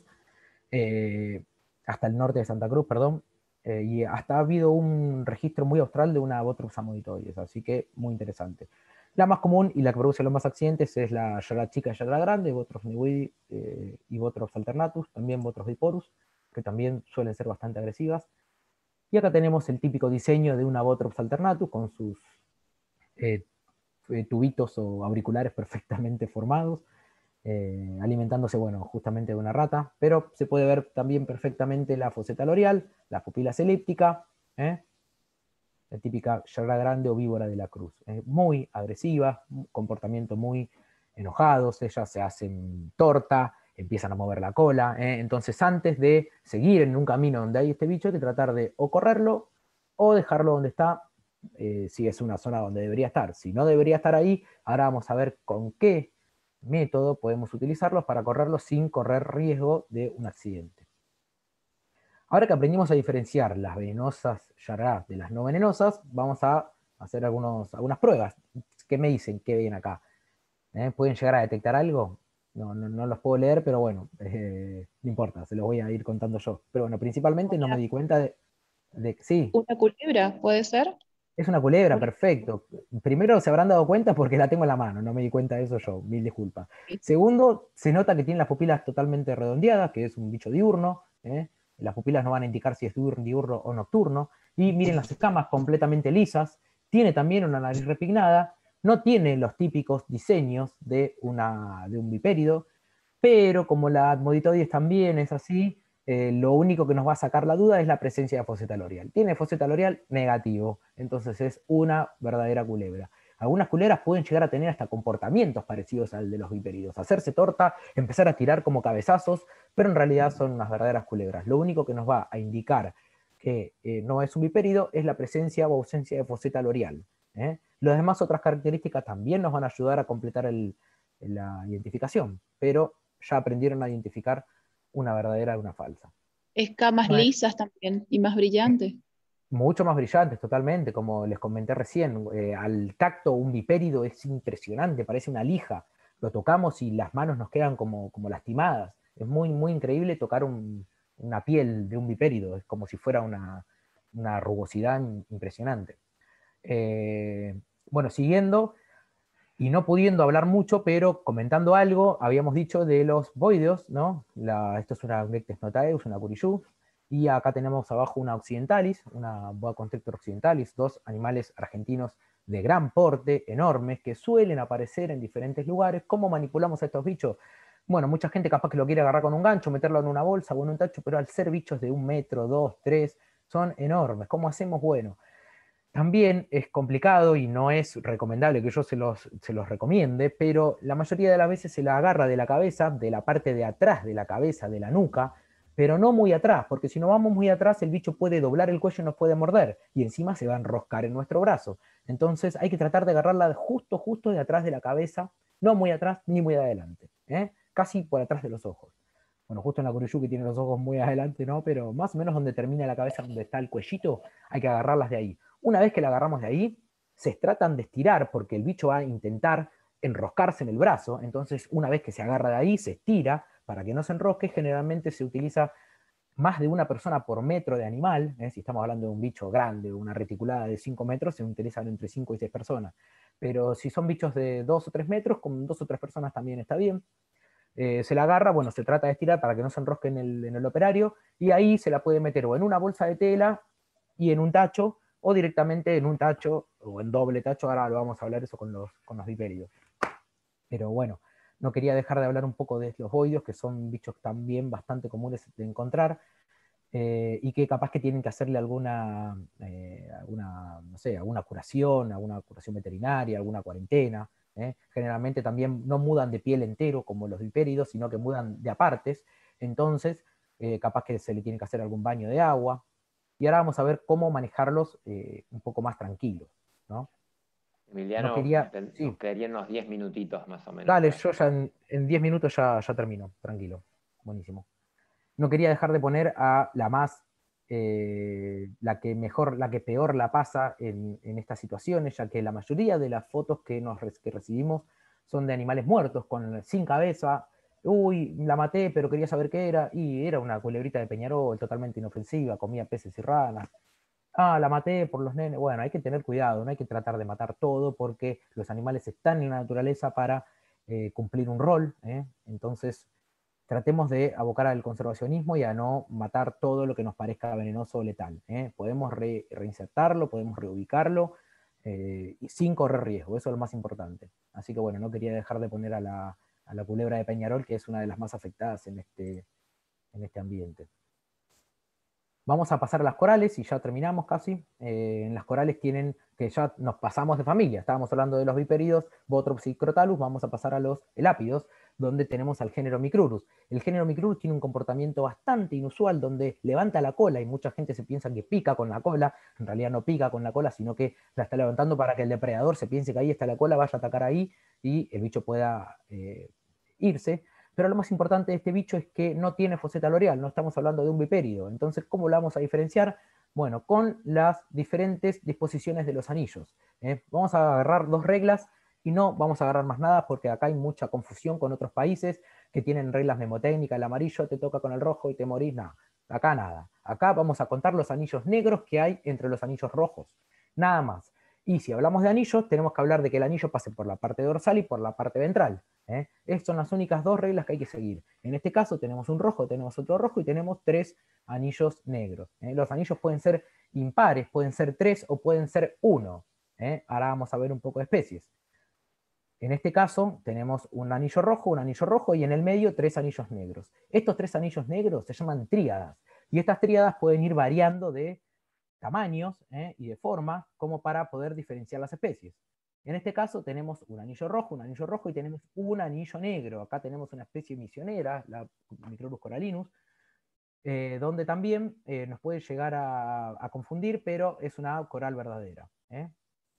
Miren acá, en este caso, anillo rojo, anillo rojo, tenemos los tres anillos negros, que en este caso son los tres de la misma, del mismo, de la misma, dimensión comparado con estos, que son totalmente diferentes. ¿eh? Esto no va a ir variando la especie, como dije recién. Esto es una Pyrrhocrypto, una Velocoriphus, una Lemniscatus. ¿eh? Las, las, corales van a ir cambiando según eh, la zona geográfica donde se encuentren. Y no van a tener foseta loreal. Y van a tener una dentición proteroglifa. Así que ya sabemos un montón de características de las corales. Y si les muestro esto, ¿es verdadera? ¿Es falsa? ¿Es de acá? ¿Es de allá? Bueno, en este caso estamos hablando de una falsa coral. ¿eh? Entre rojo y rojo tenemos dos, dos, solamente anillos negros, aunque nuestras falsas corales no son todas perfectitas como esta, sino que son mucho más eh, toscas, por así decirlo. Tienen este tipo de coloración. Acá tenemos otra falsa coral, una Oxyrhophus, donde el anillo no pasa por la parte ventral. ¿eh? Así que ya podemos diferenciarla de que no es un elápido. ¿sí? Y hablamos rápido un poquito del veneno de los elápidos. Les voy a contar más o menos cómo actúa. En realidad habíamos dicho que la cascabel era neurotoxinas con miotoxina, la yarrara era histotóxico y hemolítico. ¿Qué pasa con la coral? Bueno, plenamente neurotóxico, va a afectar al sistema nervioso central. Según las especies pueden ir variando cómo afecta en la sinapsis de las neuronas. Y lo más importante, este bicho no tenía foseta loreal. ¿Qué va a comer? Se va a alimentar de serpientes. No todas, pero la mayoría de las corales de Argentina son ofiófagas, van a alimentarse de serpientes. Hay unos videos y unas fotos impresionantes de corales comiendo yarará, comiendo cascabel, increíbles. También están las musuranas que comen, o las clerias que comen otro, otro tipo de, eh, de alimento que no son roedores, ¿no? Fíjense acá, ahí recién yo le estaba dando una helicops a la, coral eh, y la agarró perfectamente. En este caso yo había tocado la, parte del plástico con la serpiente, con la culebra muerta, eh, con la helicops, y ella lo detectó, impresionante, parece una boa comiendo un ratón, pero en realidad no, es una coral comiendo una serpiente. Detectan bien las temperaturas, las, eh, hormonas que tienen en la piel la otra culebra para poder detectarla y para poder alimentarse. Bueno, el comportamiento, como les comenté, estos bichos es bastante errático, se suelen mover mucho, ¿eh? pero generalmente no producen accidentes. ¿Por qué? Porque tienen una apertura bucal muy chiquitita y aparte por la dentición que dijimos que era muy chiquitita y tenía los dientitos arriba. Entonces es muy difícil que pique. Si pica puede picar en los pliegues de las manos o de los pies o, eh, o a los nenes que capaz que les llama la atención y ahí es donde sí se vuelve bastante peligroso. ¿eh? Eh, en este caso, en este video, lo que están viendo es cómo las manipulamos para poder ordeñarlas. Nosotros tenemos que sacarles y extraerles el veneno lo más puro posible a estos bichos. Son métodos muy difíciles y muy peligrosos, pero bueno, hay que realizarlo. Lo que hacemos en realidad es agarrarla y poder eh, inyectar un capilar, un capilar es un tubito de vidrio, en el diente perotegrolifo que, que estamos viendo, y ahí estimular un poquito la glándula y nos va a dar perfectamente el veneno. Miren el veneno bien concentrado, parece un jugo tan bien, bien puro. ¿eh? Nosotros nos aseguramos de que el bicho tenga un veneno puro, haciendo unos ayunos bastante eh, eh, medidos, ¿no? No la dejamos tampoco seis meses sin comer, porque a pesar de que el bicho se lo aguantaría, no es la idea. La idea es mantenerlo lo más sano posible. Y bueno, en ese caso nos va a dar el veneno. Habíamos dicho un veneno neurotóxico que afecta al sistema nervioso central, ¿eh? y que va a, va ser algo muy parecido al de la cascabel, va a ser laptosis parvebral, no van a poder abrir los ojos, no van a poder hablar, ¿eh? así que es bastante, bastante peligroso. Vamos al manejo y ya terminamos. En el manejo tratemos siempre de que el bicho, vamos a hablar más que nada de vipéridos, ¿no? Los vipéridos o a los bichos que nos pueden detectar van a siempre mirarnos. Entonces, cuando tengamos que manipularlos, tratemos de ponernos de atrás para que no nos pueda mirar si nos está mirando, pero nosotros estamos acá, también nos está mirando, porque nos puede llegar a detectar. ¿eh? Entonces, siempre bien alejados y con ganchos, si son animales grandes, pueden ser hasta dos ganchos, y vamos a tratar de dividir al animal en tres y agarrar el primer tercio del animal. ¿Por qué? Porque si agarramos el primer tercio y ella con las escamas ventrales sigue como caminando eh, o reptando, vamos a terminar en la mitad del cuerpo. Y ahí en la mitad del cuerpo es donde nos van a eh, la vamos a poder levantar y no se nos va a caer. Si nos pasamos de la mitad, se nos va a terminar cayendo por un tema de gravedad, ¿no? Acá les voy a mostrar un video más o menos de cómo agarrarla. Bueno, se escuchan los cascabeles, pero la idea acá es mostrarles que yo más o menos medí al bicho eh, en la tercera mitad del cuerpo, en el primer tercio del cuerpo y lo puedo levantar. Si yo lo quisiera levantar, lo puedo levantar. ¿Qué pasa si lo quiero agarrar casi de la cola? El bicho va a tener más chance de tirar un tarascón, ¿eh? como es en este caso. ¿sí? Yo lo agarré casi de la cola y el bicho tiene todo el cuerpo para poder estirarse. ¿eh? En este caso también. Así que siempre tratar de agarrar al animal del primer tercio y levantarlo. Ojo con colgarlo y colgarlo mucho, porque si lo cuelgan mucho, se les va a terminar viniendo encima. ¿eh? Así que siempre en un ángulo más o menos de 90 grados. Obviamente los ganchos se pueden realizar de cualquier tipo de material, de un hierro del 8, de, esto es un palo de golf, eh, algunos los inventamos nosotros con palos de escoba, eh, ahora les voy a mostrar algunos viejos de, hace, muchos años, eh, pero bueno, lo importante es poder, una vez que ya tenemos colgado el bicho, poder pasarlo y ya tener preparado algún tacho, alguna bolsa de tela. Acá nos vamos a frenar un poquito porque es importante que hablemos de dónde lo ponemos al animal. Si lo ponemos en una bolsa de tela y llevamos la bolsa de tela así, el bicho nos puede detectar el calor por la, a través de la bolsa de tela y nos puede morder. Entonces lo ideal es bolsa de tela adentro de tacho o tacho adentro de tacho. O tupper adentro de tupper o tupper adentro de tacho. ¿eh? Que haya doble protección. ¿Qué pasa cuando ponemos animales juntos? Si son viperios, si son de la misma familia, no debería pasar nada. Pero ¿qué pasa si ponemos dos corales juntas? O corales con cascabeles o corales con yarará la coral puede llegar a comerse o a matar al otro, a la otra especie. ¿eh? Así que tengamos en cuenta eso de qué cantidad de animales poner. Nosotros usamos tachos grandes, por, ejemplo, para limpiar, los metemos ahí y podemos meternos en el recinto. Y para terminar, les cuento un poquito del instituto, donde antiguamente se compraban, es decir, se pagaban a la gente que traía cascabeles, corales y víboras de la cruz, o yararás, hasta batracios, sapos y escolopendras, y el instituto le daba una ampolla de suero y hasta jeringas. Una cosa de locos que hoy en día, por supuesto, no se, no se hace. Eh, así que estos eh, pósteres quedaron para, para, para, recuerdo nada más. Estos son los tachos donde antiguamente se enviaban, y seguramente alguno capaz que lo tiene, o conoce al abuelo que las capturaba y las mandaba con el flete gratis en tren. Y acá tenemos todas las herramientas que utilizaban eh, nuestros ancestros, por así decirlo, del instituto, donde se protegían ¿eh? con estas pinzas muy grandes hechas con madera y con unas chapas para protegerse, mismo los ganchos también tenían chapas, y los lazos también. ¿eh? Pues nosotros necesitamos inmovilizar al animal, cosa que no recomendamos, pero sí. Ahí le dejo un poco de información del instituto. Eh, y bueno, y esta es una foto de un cuadro que encontré hace muy poquitito con, con mis compañeros, donde bueno, se ve que hace, debe tener alrededor de 100 años, donde los caballos estaban dentro del instituto, no estaban en el campo que hay ahora en Marcos Paz, y ahí se producía el suero, ¿eh? se le inyecta el veneno purificado y alicuotado en diferentes ocasiones a los equinos, los equinos producen anticuerpos, los anticuerpos se sacan, se purifican, y ahí es lo que se envasa para eh, inyectártelo si tenés un accidente, ¿no? Bueno, acá vamos terminando. Estas son maniobras que no recomiendo. No es necesario nunca agarrar una serpiente así y extraerle el veneno, ya que no, si no es más que para un fin científico o para la producción del mismo, para la producción del suero. Eh, así que eh, nunca les recomiendo hacer estas maniobras, pero les muestro cómo las hacemos. ¿eh? Acá utilizamos los ganchos nuevos, nuestros, utilizamos pinzas. Las pinzas no tanto para, para agarrar al animal, son bastante peligrosas estas pinzas. Las utilizamos más para el alimento, agarrar el alimento, darle de comer, sacarle el alimento. bueno, otras pinzas más largas y los lazos que se utilizan para inmovilizar al animal y poder eh, fijarlo y agarrarle la cabeza. En este caso, bueno, yo estoy usando un gancho y no, no todos los vipéridos son así de tranquilos, la mayoría de las cascabeles suelen dar unos cuellazos así impresionantes donde pueden llegar a romperse el cuello y las yararás, algunas que son medias locas, también pueden llegar a lastimarse. Bueno, la última diapo para que si quieren sacarle foto o quieren eh, leerlas bien, en, más que nada es para prevenir siempre, vamos a, abocar a la prevención porque más vale prevenir que curar. Entonces, si hay zona de serpiente, tratar de no mantener limpios los jardines, los patios, no meter la mano en cualquier hueco. Eh, siempre que vayamos a un lugar donde puede llegar a haber serpientes, pueden colocarnos botas. Si no tenemos botas, podemos usar una revista o un diario envuelto en tipo polaina y ahí perfecto nos puede llegar a, servir.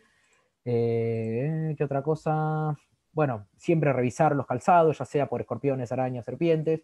Eh, y lo más importante, ¿qué no hacer? Nunca hacer torniquetes, nunca dar bebidas alcohólicas, no colocar remedios caseros, como hablamos recién, no hacer cortes. He escuchado historias hasta de gente que se ha dado un tiro en el pie porque la picó una yarará una cosa de locos y es totalmente contraproducente. ¿eh? Tampoco succionar el veneno. Tratar de sacar el veneno por succión es como intentar sacar una gota de tinta de un balde de agua. Imposible.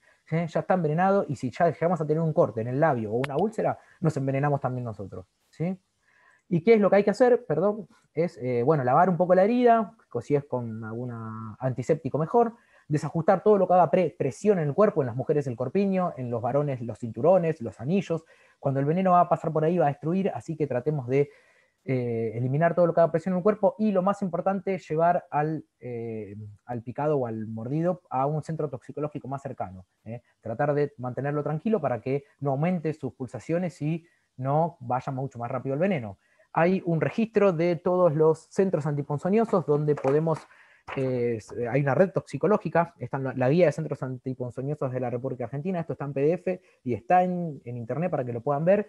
Y si ustedes van a un lugar donde no saben si hay suero, se deberían comunicar con el hospital y deberían tener el antiveneno porque antiveneno hay un montón, hay un montón. Y tenemos para todas las especies de animales venenosos, menos para la alonomia, que estamos estudiando ahora para, poder hacerlo.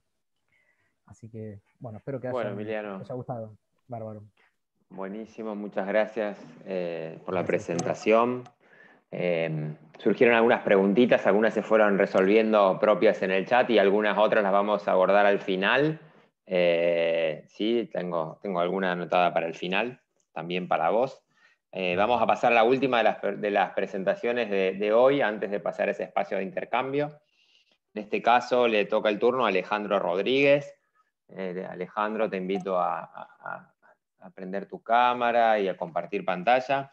Mientras te presento, Alejandro es técnico universitario guardaparque eh, de la Facultad de Ciencias Forestales de la UNAM, es técnico superior en Ecología Urbana del Instituto Multiversidad Popular, SMPADIS, es responsable de la delegación para la provincia de Misiones de la Fundación este, Programa para la Conservación de Murciélagos de Argentina. Y desde 2014 es guardaparque en la Fundación Temaiken en la Reserva eh, natural Osonunú en San Ignacio. la charla de, Alejandro eh, se llama, ya tengo un lío de papeles acá, se llama Manejo Seguro y Protocolo de Exclusión eh, de Murciélagos en Áreas Urbanas. Nos metemos con los murciélagos. Bueno, gracias Jero. Eh, hola a todos. Voy a, a ver si sale compartir pantalla. Creo que es esto. Vos decime, Jero, si, si estoy.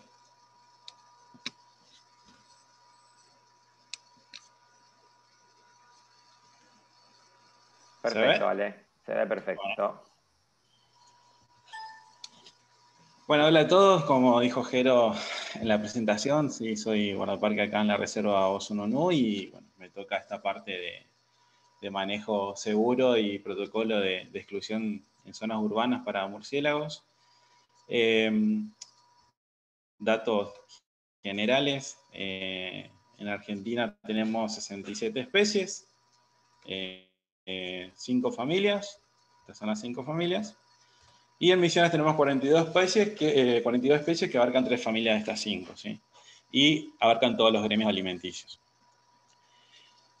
Voy de lleno a los elementos de protección personal, eh, en este caso les presento, son las chicas de la delegación del PSMA Córdoba, eh, tienen, como pueden ver, todos estos elementos son básicos, si se quiere, y complejos a la vez eh, que lo vamos a ir desarrollando de a poquito.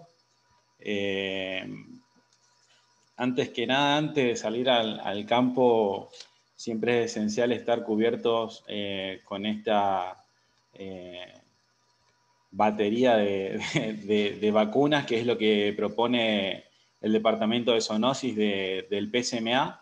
Eh, dentro de todas estas eh, vacunas que, estoy aquí mostrando, eh, siempre obviamente es la, la, antirrábica obligatoria, que es la de preexposición en caso de la gente, de la gente que trabaja con, quirópteros.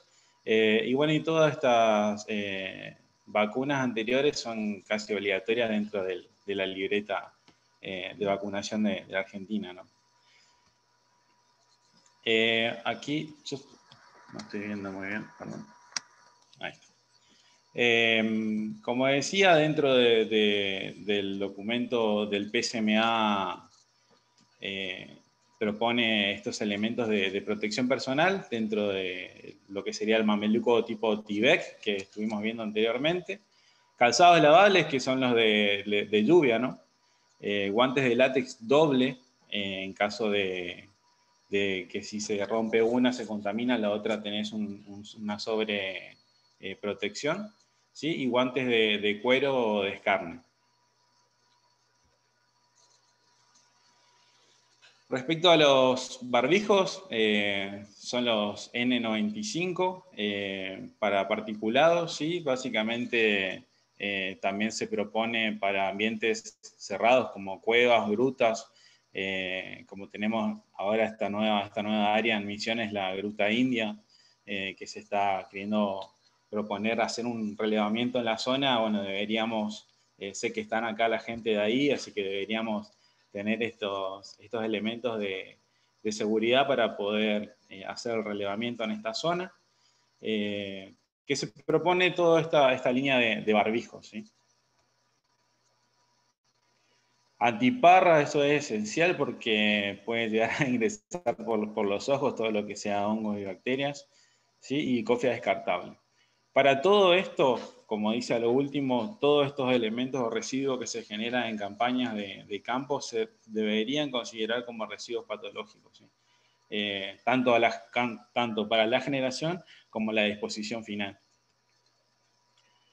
Procedimiento seguro del manejo. Eh, cuando hablamos acá, esto ya es en, eh, campo y en acción neta. Para la retirada de, animales capturados, siempre se, en caso de, trampas arpas, eh, no sé si conocen alguno, eh, bolsas o redes, eh, siempre el, guante de escarne, ¿sí? para poder manipular a, lo, a los murciélagos. Eh, y en caso de redes, siempre eh, tratar de, de, bloquear lo que es la mandíbula. ¿sí? en nuestro caso y en práctica de campo, lo que sabemos hacer es es casi como mostrarle el guante de escarne al murciélago y lo muerde y en ese, en, ese momento que lo muerde no, no lo suelta más y entonces quedamos totalmente seguros para poder manipularlos y desenredarlos de las redes. y la verdad es que no suelta eh, el guante que se le da para, morder. Eh, y luego de poder retirar al murciélago de la red, eh, tenemos que soplarle un poquito la cara para, para que suelte del guante una vez que, que, lo tenemos contenido y seguro. Em, siguiendo con esto, la idea es poder... Em, perdón, me perdí un poco. Em, una vez que se retira los murciélagos de las redes, eh, lo ideal es siempre tener eh, recipientes, individuales eh, y esterilizados. Pueden ser bolsas de tela o cajas. en nuestro caso siempre, pues yo he visto que se utilizan bolsas de telas, siempre esterilizadas y bien marcadas.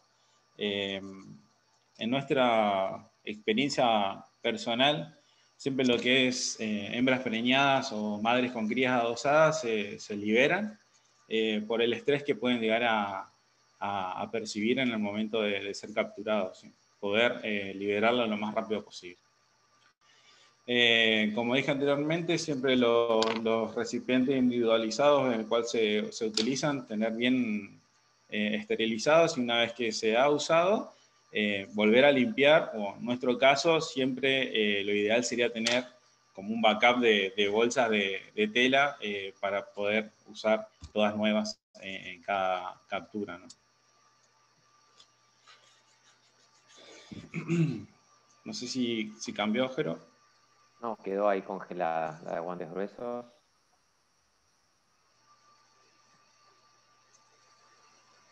Sí, sí, ah. sí, es eso. Sí, no, lo que, lo, que, lo que dice acá es eh, lo que había dicho anteriormente, en caso de, poder hacer una operación que precise tacto fino, eh, eh, proponer a, un compañero que, ayude, ¿sí? Por eso nosotros en la práctica lo que solemos hacer es darle a que, muerda un, extra de, guante de carne para poder manipularlo de, manera segura. En el marcaje, eh, una vez que se captura el murciélago, eh, siempre voy a estar hablando de experiencias personales. Eh, lo que se hace es cortarle el pelo en el lomo para poder liberarlo y si en caso de volver a recapturar, sea fácil de, identificar. como dice ahí, creo que suele usar algunos todavía. suelen usar las agujas de, tatuar para marcar las alas de los murciélagos ya que son muy fáciles de, sanar. Para la liberación, eh, lo ideal siempre es liberar eh, en, el, mismo lugar donde se capturó eh, y en caso de, no, no, liberarse en ese, en ese momento para poder tenerlo en murciélago hasta el otro, tenerlo hasta el otro día a la noche y poder realizar la, la, liberación. No dejarlo suelto ni a baja altura, eh, ni, ni, echarlos a volar de día, eso es muy, básico. Eh, para el protocolo de exclusión de murciélagos en zonas urbanas, es un protocolo que, que, ha participado eh, el PSMA dentro de la red, como le han generado un documento que ahí está el link, que es eh, la manera más segura, eh, no invasiva eh, y no violenta para poder hacer exclusiones de murciélagos en, zonas urbanas y que son fáciles de aplicar.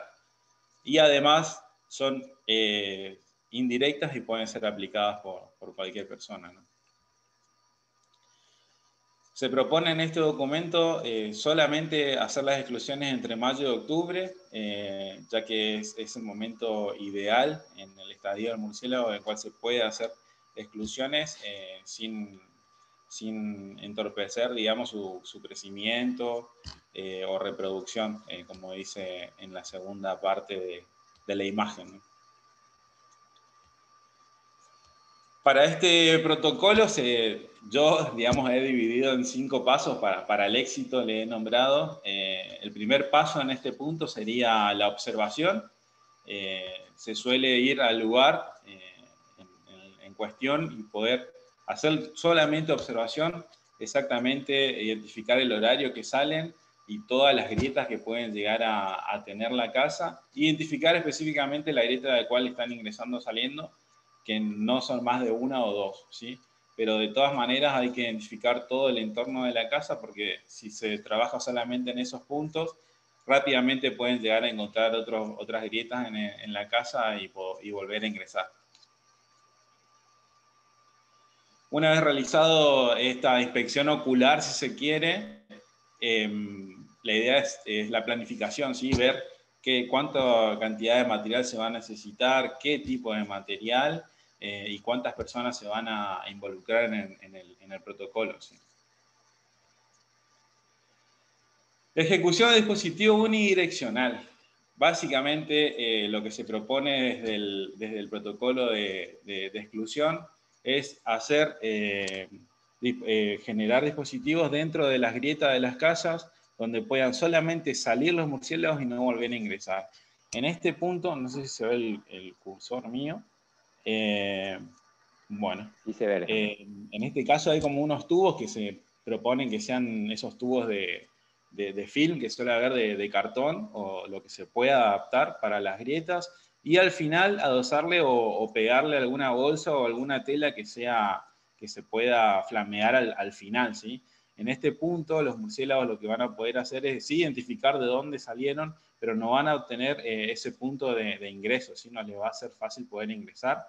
Así que esto es lo que se, es la, la, la, la teoría básica de, de, de, estos dispositivos unidireccionales que son solamente de, salida. ¿sí?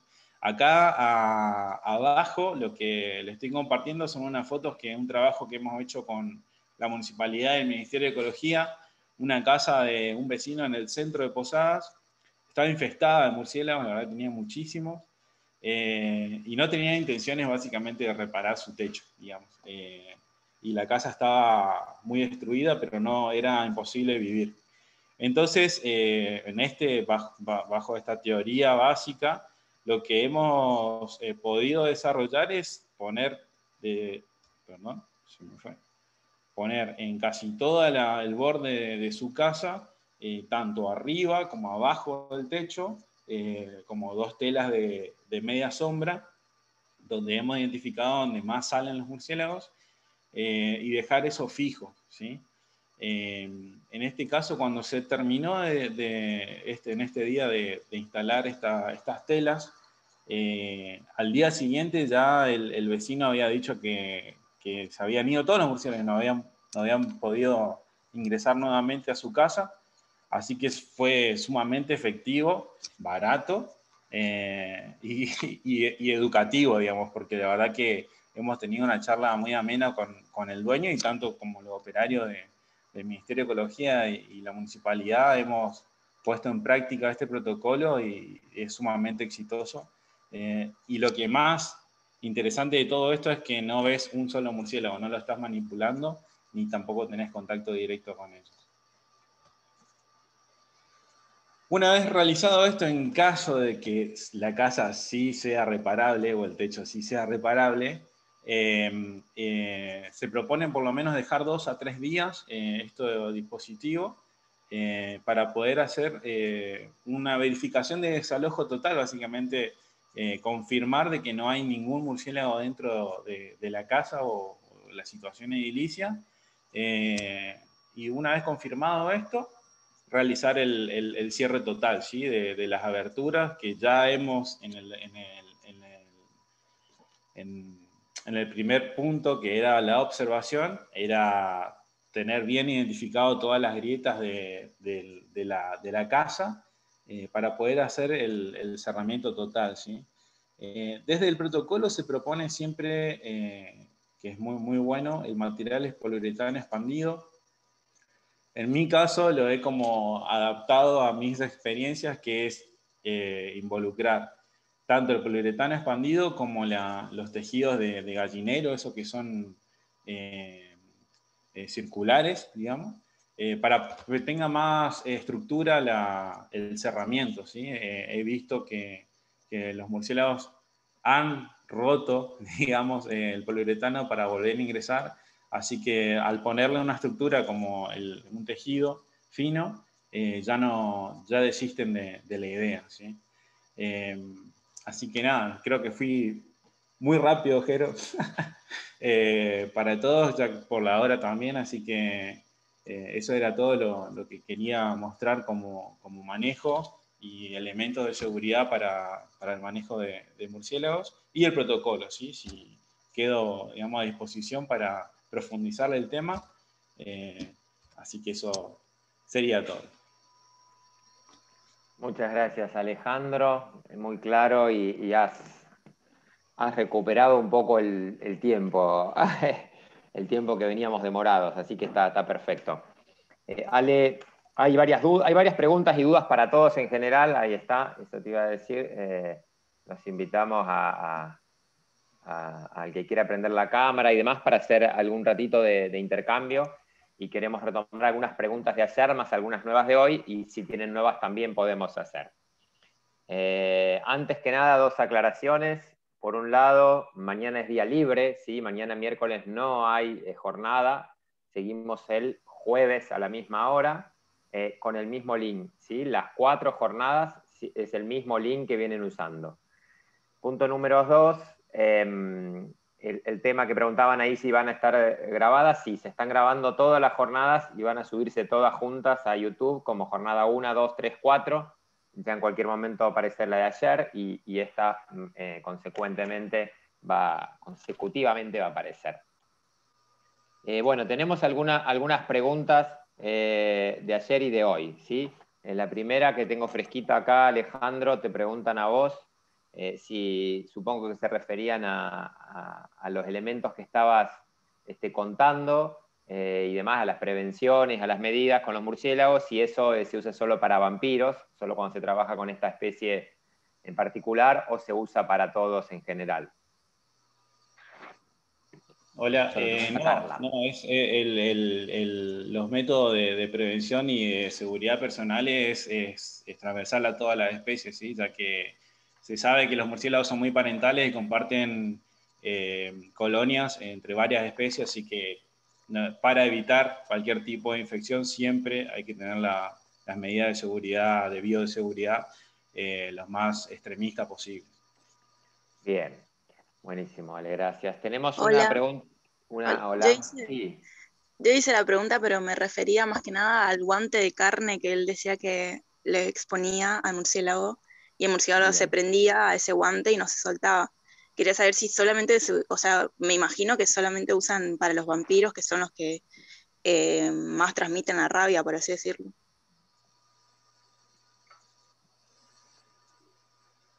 Ale. Sí, eh, no, es para, para todas las especies, básicamente, eh, te cuento, Carla, las especies que son frugívoros tienen una mandíbula bastante grande y muerden fuerte, ¿sí? Así que para cualquier tipo de infección, eh, y lastimadura en, en, caso de manipulación de murciélagos, eh, siempre es recomendable mantener la distancia y las protecciones. pero sí, en caso de, frugívoros, por ejemplo, tienen una mandíbula muy, muy, muy grande y mordidas fuertes. Sí. Tenemos, tenemos que pensar que, que no solo si transmiten o no la rabia es un riesgo, sino que una enfermedad de un animal silvestre eh, o de un perro o demás, lo que llamamos una herida sucia, ¿no? Entonces es una herida de la que hay que protegerse, independientemente si el animal con el que estemos manipulando tenga veneno o no tenga veneno, como en el caso que explicaba Emiliano, o si contagie la rabia o no contagie la rabia, como explicaba Alejandro, eh, son heridas que son eh, delicadas, sucias, y, tenemos que estar prevenidos, ¿no? protegidos. hay una pregunta de Rocío para Emiliano que... Perdón, Jerónimo. sí. Quería, hacer la salvedad que la rabia no solo la, tienen la capacidad de transmitirla los eh, murciélagos hematófagos, los vampiros, sino también eh, otro tipo de, murciélagos, los insectívoros y, demás. O sea que la rabia, eh, ese concepto, digamos, de seguridad de rabia, también ampliémoslo a todas las especies de los, de los murciélagos. Perfecto, buenísimo la aclaración, Dante, gracias. Em, Rocío pregunta para Emiliano que le cuesta un poco la diferencia del patrón entre Botrops y Cenodon. Eh, sobre todo creo que dijo, no sé si nombró la Botrops amonitoides o, o no, y Cenodon, si puedes darle algún tips para eso. Bueno, lo que habíamos hablado más o menos hace un ratito, eh, si en los patrones es muy difícil porque a veces están atropelladas y no se nota bien el patrón, detectar foseta loreal, detectar las escamas con, con la quilla o con la carena y la pupila seléptica. Ya con esas tres características podemos diferenciar si es un colúrido o si es un dipérido. ¿sí? Eh, porque son, realmente son muy parecidos los, los patrones. Más que nada en lo que dijo ella, en Cenodón y en Amoditoide. Después todas las otras son más o menos parecidas. El diseño del riñón se va como alargando y como esfumando. ¿eh? Pero en las Amoditoides y en la Cenodón sí es, es difícil. Buenísimo, gracias Emiliano. Eh, Juan pregunta también para vos, Emiliano, si, eh, si existen los suelos transportados para el campo sin cadena de frío y dónde se pueden conseguir en misiones. Bueno, excelente pregunta, ya que el instituto solamente eh, realiza antivenenos que necesitan eh, conservar la cadena de frío. Eh, hay laboratorios privados donde se pueden comprar antivenenos liofilizados y es muy probable que, que los vendan para medicina veterinaria o para casos particulares que alguna empresa quiere tener. Si no me equivoco, el laboratorio es Biol y tiene que haber alguno más. eh, pero, pero bueno, cualquier cosa después me, me preguntan. Pero sí, Biol puede llegar a ser eh, antivenenos liofilizados para poder tener en, alguna, en algún sector o en algún lugar eh, sin cadena de frío. Igualmente también es complicado la aplicación, no, no, no podemos aplicarnos nosotros el antiveneno ya que son inmunoglobulinas que produjo un equino. ¿Eh? Podemos tener la enfermedad del suero, podemos ser alérgicos a, esos, a esas inmunoglobulinas y tener en el medio del campo un shock anafiláctico. ¿eh? Así que siempre en una unidad de terapia intensiva y con un médico responsable que lo sepa aplicar. Bien. Eh, bien, ahí, ahí sigo leyendo, Carla, la- las aclaraciones y sí, es cierto lo que vos ponés acerca de- de que eh, las, distintas especies tienen distintos atractivos, son, hay carnívoras, hay insectívoras, de murciélagos. Eh, siempre pensá en que el, animal que vos estás manipulando está eh, en una condición de, de defensa, está en una condición de que se quiere defender, proteger, escaparse, volar eh, y demás porque no está cómodo. Entonces, el animal mucha- muchas veces la mordida no es porque te identifique como un alimento o porque sea carnívoro o, otra cosa, sino porque quiere defenderse para salir. Entonces puede ser una medida de respuesta a tu manipulación, a tu contacto.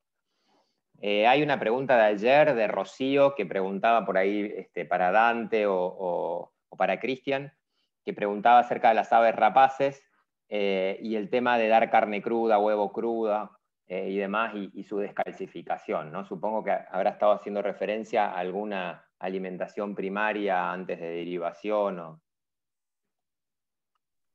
No sé quién quiere abordarla. Bueno, sí, eh, hay que evitar, eh, no solo para rapaces, sino eh, ampliamos, digamos, el mismo criterio para todo animal carnívoro, no darle carne cruda, carne sola, ¿sí? Cruda. Porque hay un fuerte desbalance en el calcio-fósforo. Entonces, a largo plazo, lo que vamos a producir es esa descalcificación, un reblandecimiento y una fragilidad en, lo- en los huesos, deformación en, en todos los ejes, digamos, de los huesos. Eh, ¿Qué podríamos eh, optar? Eh, para una rapaz es eh, conseguir una presa o viva o una codorniz eh, o un ratón de, de bioterio y ofrecerle eso como comida.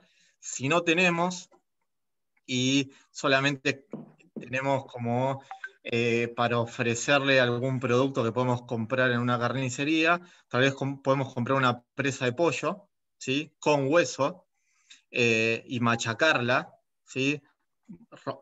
Aplastarla bien para triturar ese, ese hueso que quede mezclado entre la carne y eso poder ofrecerle.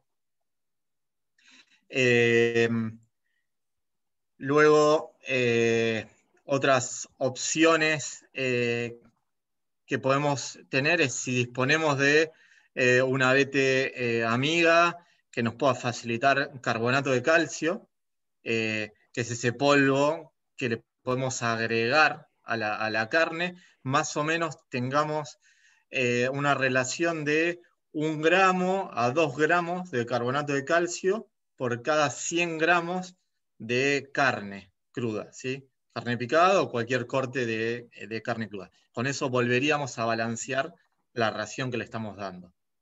Eh, eso es muy, muy importante a tener en cuenta y son errores eh, bastante comunes en, la alimentación de carnívoros, digamos, mantenidos por, por nosotros.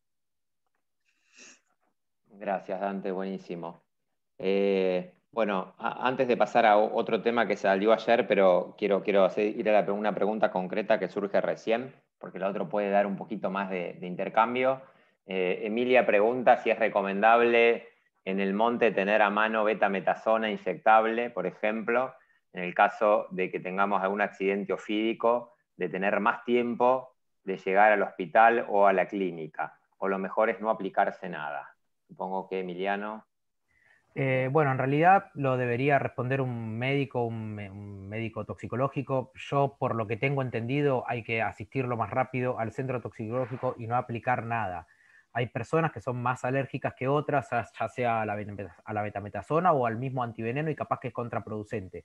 Pero no quiero aclararlo si, no hay, si hay un médico presente y sabe. Yo realmente estoy, tengo entendido que no hay que aplicar nada. Simplemente dirigirse al centro toxicológico. Bien. Eh, algo de lo que surgía ayer y que lo, tiro abiertamente, por ahí nombraron a, Dante también por, misiones, eh, por estar en misiones y demás, eh, fue el tema de los perros, que habló tanto Sergio, Germán, Andrea, Bernardo y, y, demás, ¿no? De los perros y gatos y demás, pero básicamente surgió el tema de los perros e inclusive surgió el tema de los perros de las comunidades, ¿no? De las comunidades vía que viven eh, o adentro o muy en torno muchas veces a, los, a, las áreas protegidas o los, espacios donde suele trabajar la mayoría de, las personas que, estamos acá en, estas jornadas. Eh, eh, entonces, bueno, todos lo manifestaron como un problema, no solo porque matan la fauna, porque ahuyentan, porque lastiman y después terminan en, los centros este, de, de, rehabilitación, y también Dante contó que porque además eh, hay un intercambio o puede haber un intercambio, de hecho hay muchos casos ya estudiados de, intercambio entre, tanto entre fauna silvestre como animales domésticos, como viceversa, eh, de ciertas este, patologías, de ciertas enfermedades y, demás, ¿no? Eh, por este contacto que se da entre estos animales. Así que si hay alguien que quiera hacer alguna reflexión o contar algo de eso, bienvenido.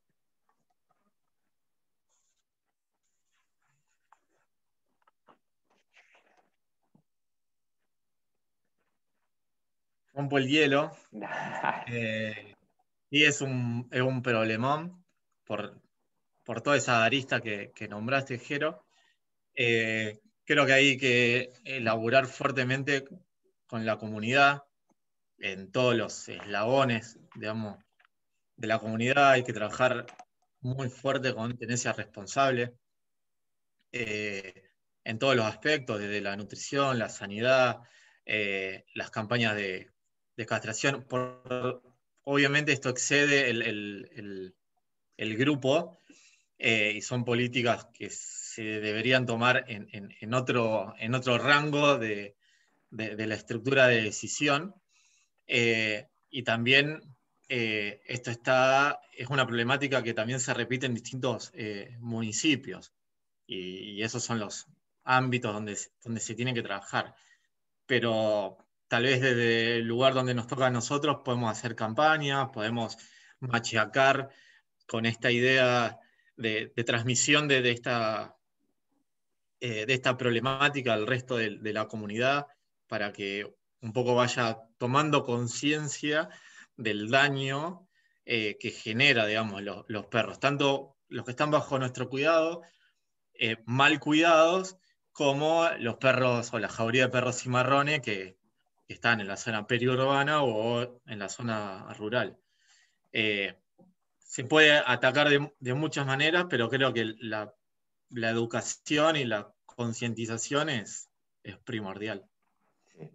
Es, es un trabajo para una- un taller o, o una jornada aparte, básicamente, lo que la complejidad de- del problema y de su abordaje, ¿no?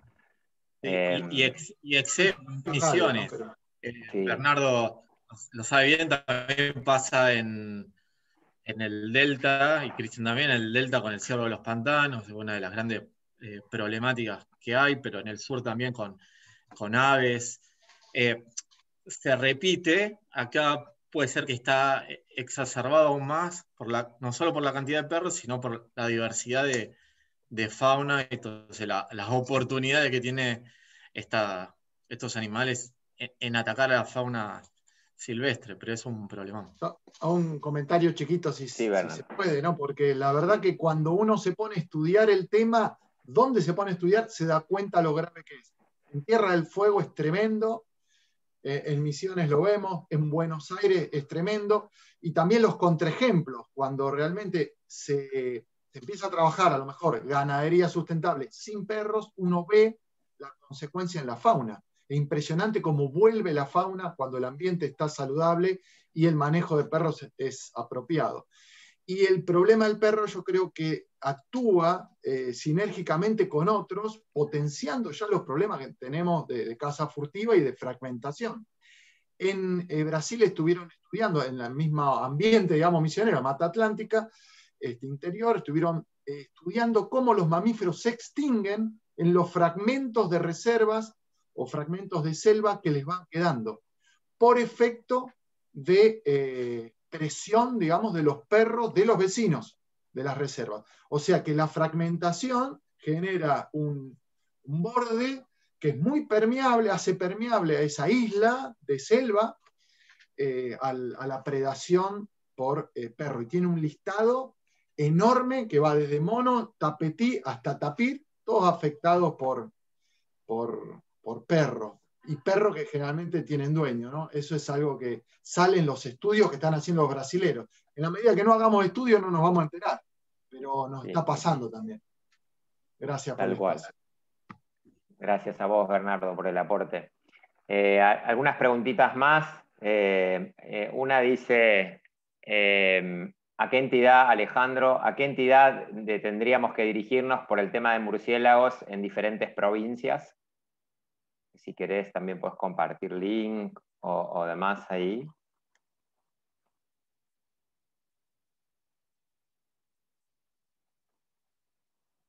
Estás muteado, Ale. Hola. Sí, ahí está. Ah, El PSMA estamos en, en 13 provincias, pero dependiendo de a qué tema estamos hablando con el cual hay que referirse o, a- o querer asistencia respecto a, a murciélagos, eh, está en la, la página del psma.com.ar, en el cual pueden eh, realizar, o el Facebook también, que es el PSMA eh, en, Facebook, pueden hacer cualquier tipo de consultas y, todas las delegaciones estamos adheridos a ese Facebook, así que podemos blanquear cualquier tipo de duda a través de, de- esas líneas. Facebook, Instagram, y también cada provincia tiene su, su ministerio o secretaría de ambiente, ¿no? Pero en este caso el PSMA al cual nosotros, eh, o la cual estoy eh, perteneciendo, eh, podemos realizar cualquier tipo de, o despejar dudas, eh, así que estamos abiertos a cualquier tipo de consulta. Buenísimo, Ale, gracias. Bueno, hay un comentario de Guido que dice que con respecto a esto de- de- del calcio en alimentación, decía que, que para los carnívoros usaban acerrín de carnicería, si no se tiene complemento, que es mucho mejor para salir del paso, como para salir del paso. Este, no sé si alguien quiere hacer alguna acotación al respecto.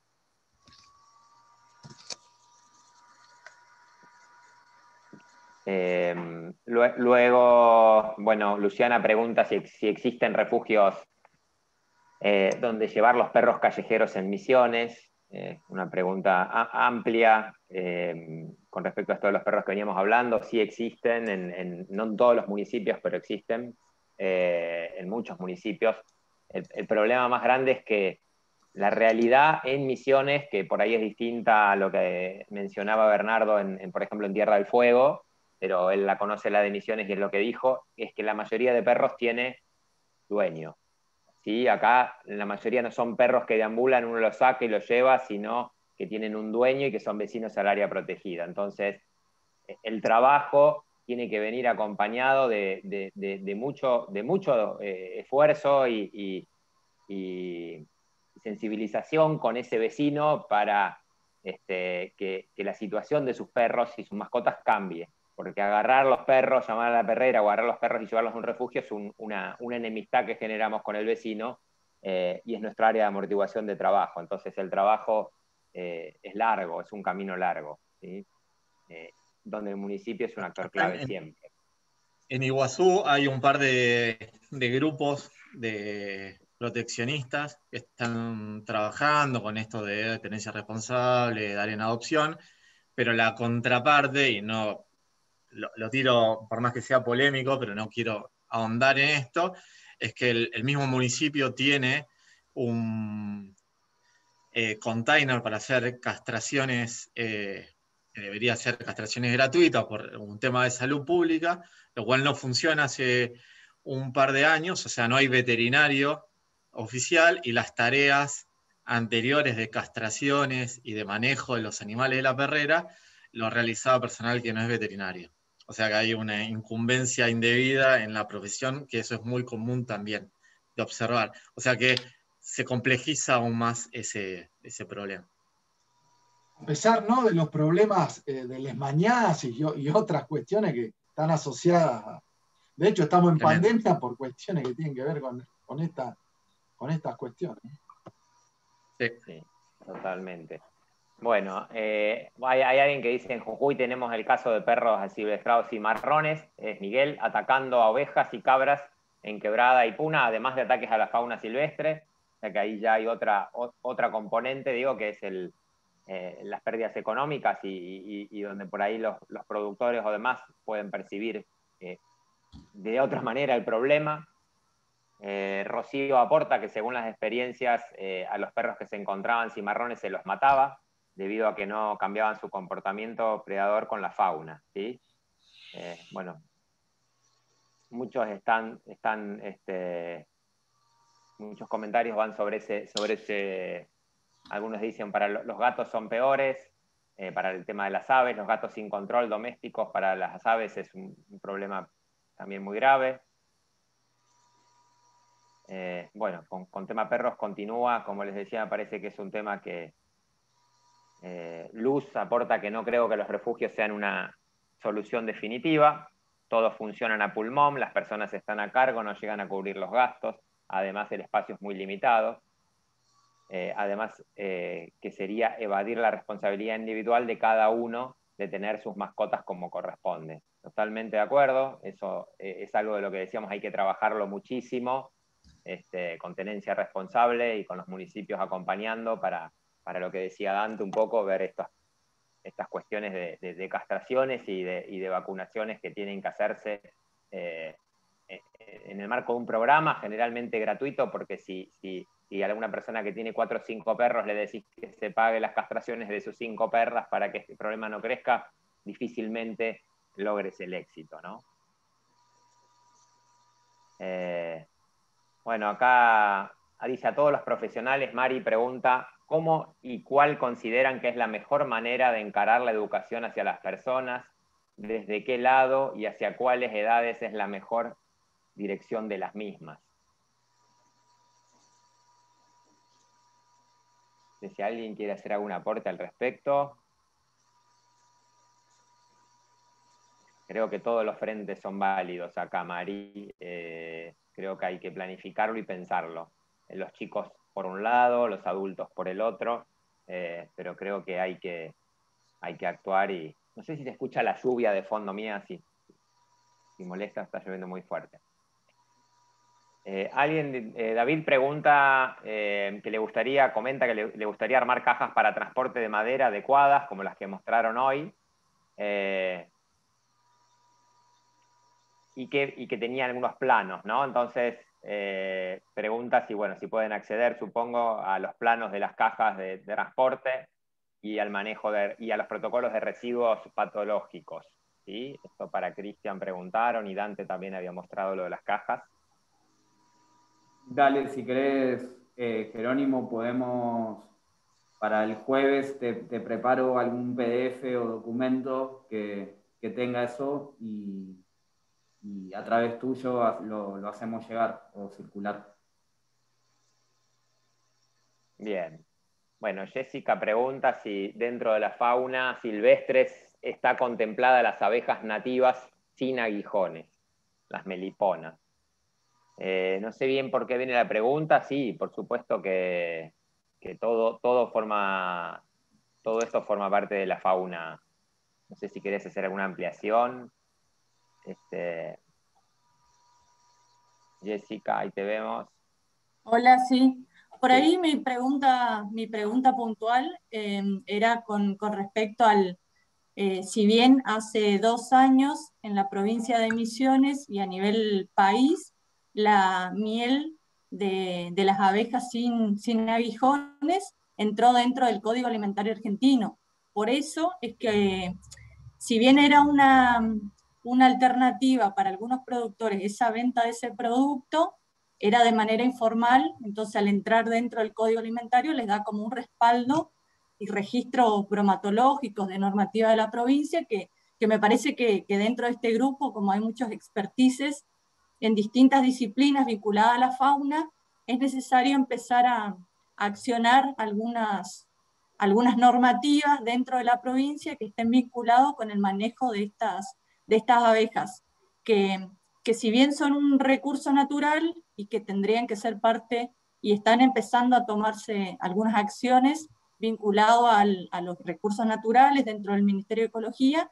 Me parece que reaunar fuerzas en este sentido es de suma importancia porque ¿qué pasa al ser una, una especie que también puede utilizarse de manera productiva? Entonces los manejos deberían estar como bien sistematizados y en concordancia, considerando que es una especie nativa por todos sus roles ecosistémicos pero también es una alternativa productiva. Entonces, ver de qué manera la ecología y, la parte del agro, digamos, la parte más productiva, se ensamblan para poder generar estas normativas que si bien no se, no se no daña el medio ambiente, digamos, porque se plantea una, una estrategia que sea de conservación y de uso de ese recurso, pero no, no dejamos como libre albedrío para que por ahí se empiecen a talar bosques eh, y hacer algunas prácticas que, que, no conducirían a nada, digamos, que por ahí en algunos lugares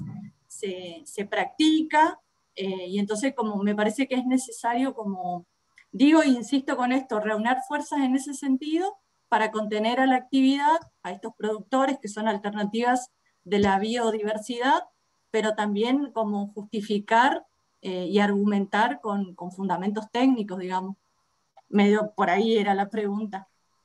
Ah, buenísimo, gracias Jessica por, por el aporte. Sí, eh, por supuesto que, las leyes nuestras hablan de fauna y, y, todo está involucrado, esto es parte. Lo que pasa es que a veces es difícil eh, la lectura que se hace de, esa ley, de interpretarlo como fauna. Generalmente uno dice fauna y se le viene un mamífero, un ave, y por ahí aparece algún reptil, eh, perdón Emiliano, vos lo sabés, digo, como que empiezan a ver este, este, ejemplares o, ensambles que son mucho más este, carismáticos y están mucho más arraigados en la gente, entonces aparece fauna y sí, es mamíferos, ahí después aparece aves y después aparece este, alguna, alguna serpiente, alguna rana, con suerte, los ratones ya y murciélagos casi que dejan de serlo y cuando llegamos a los invertebrados ya forman parte de algo que, queda fuera. Este, así que, eh, pero las leyes no, no, de vuelta, eh, a veces es como uno las interpreta y qué lectura hace, qué es lo que está arraigado a qué es lo que está realmente escrito en la ley. Cuando la ley dice fauna, y la ley de fauna silvestre de la provincia de Misiones, por ejemplo, involucra a todos los organismos eh, de la fauna. ¿sí? Bueno, para, para, para ir cerrando, hay un aporte más ahí de Claudio que dice, otra problemática en Misiones son los animales domésticos, eh, perros, caballos, que se usan para cacería.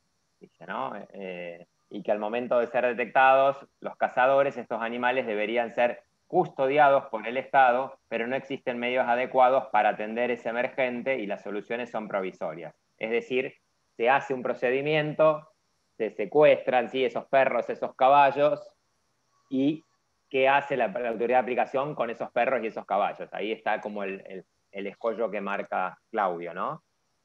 Este, bien, Estrella un poco responde a lo de Gisela, eh, con respecto de que hay un registro de productores de abejas sin aguijón. Bueno, recuerden completar el formulario que, que envió recién otra vez el link eh, Dante a los misioneros para generar esta red y, demás, y porque va a ser parte de la charla del jueves. El jueves continuamos con el trabajo en red este, y continuamos con lo que es la capacidad instalada en misiones y por ahí viene un poco esto del formulario. Los invitamos a prender las cámaras a quien guste para hacernos una foto grupal antes de saludarnos, antes de terminar. Y nos volveremos a ver el jueves que viene a la misma hora con el mismo link que hoy. Sí, ese link es para los cuatro días, recuerden. Así que no lo, no lo extravíen y si lo extravían, escriban de vuelta y lo, y lo volvemos a enviar. Bueno, a ver, van apareciendo las caras, todos se van peinando.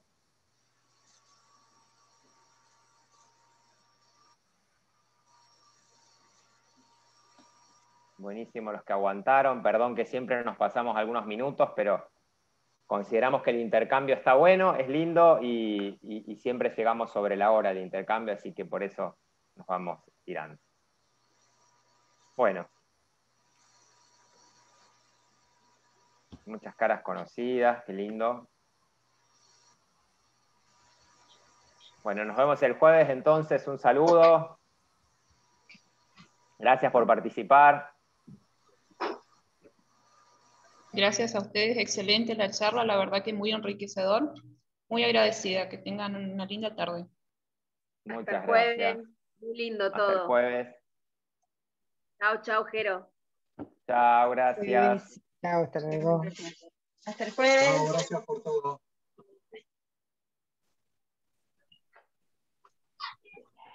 Chao.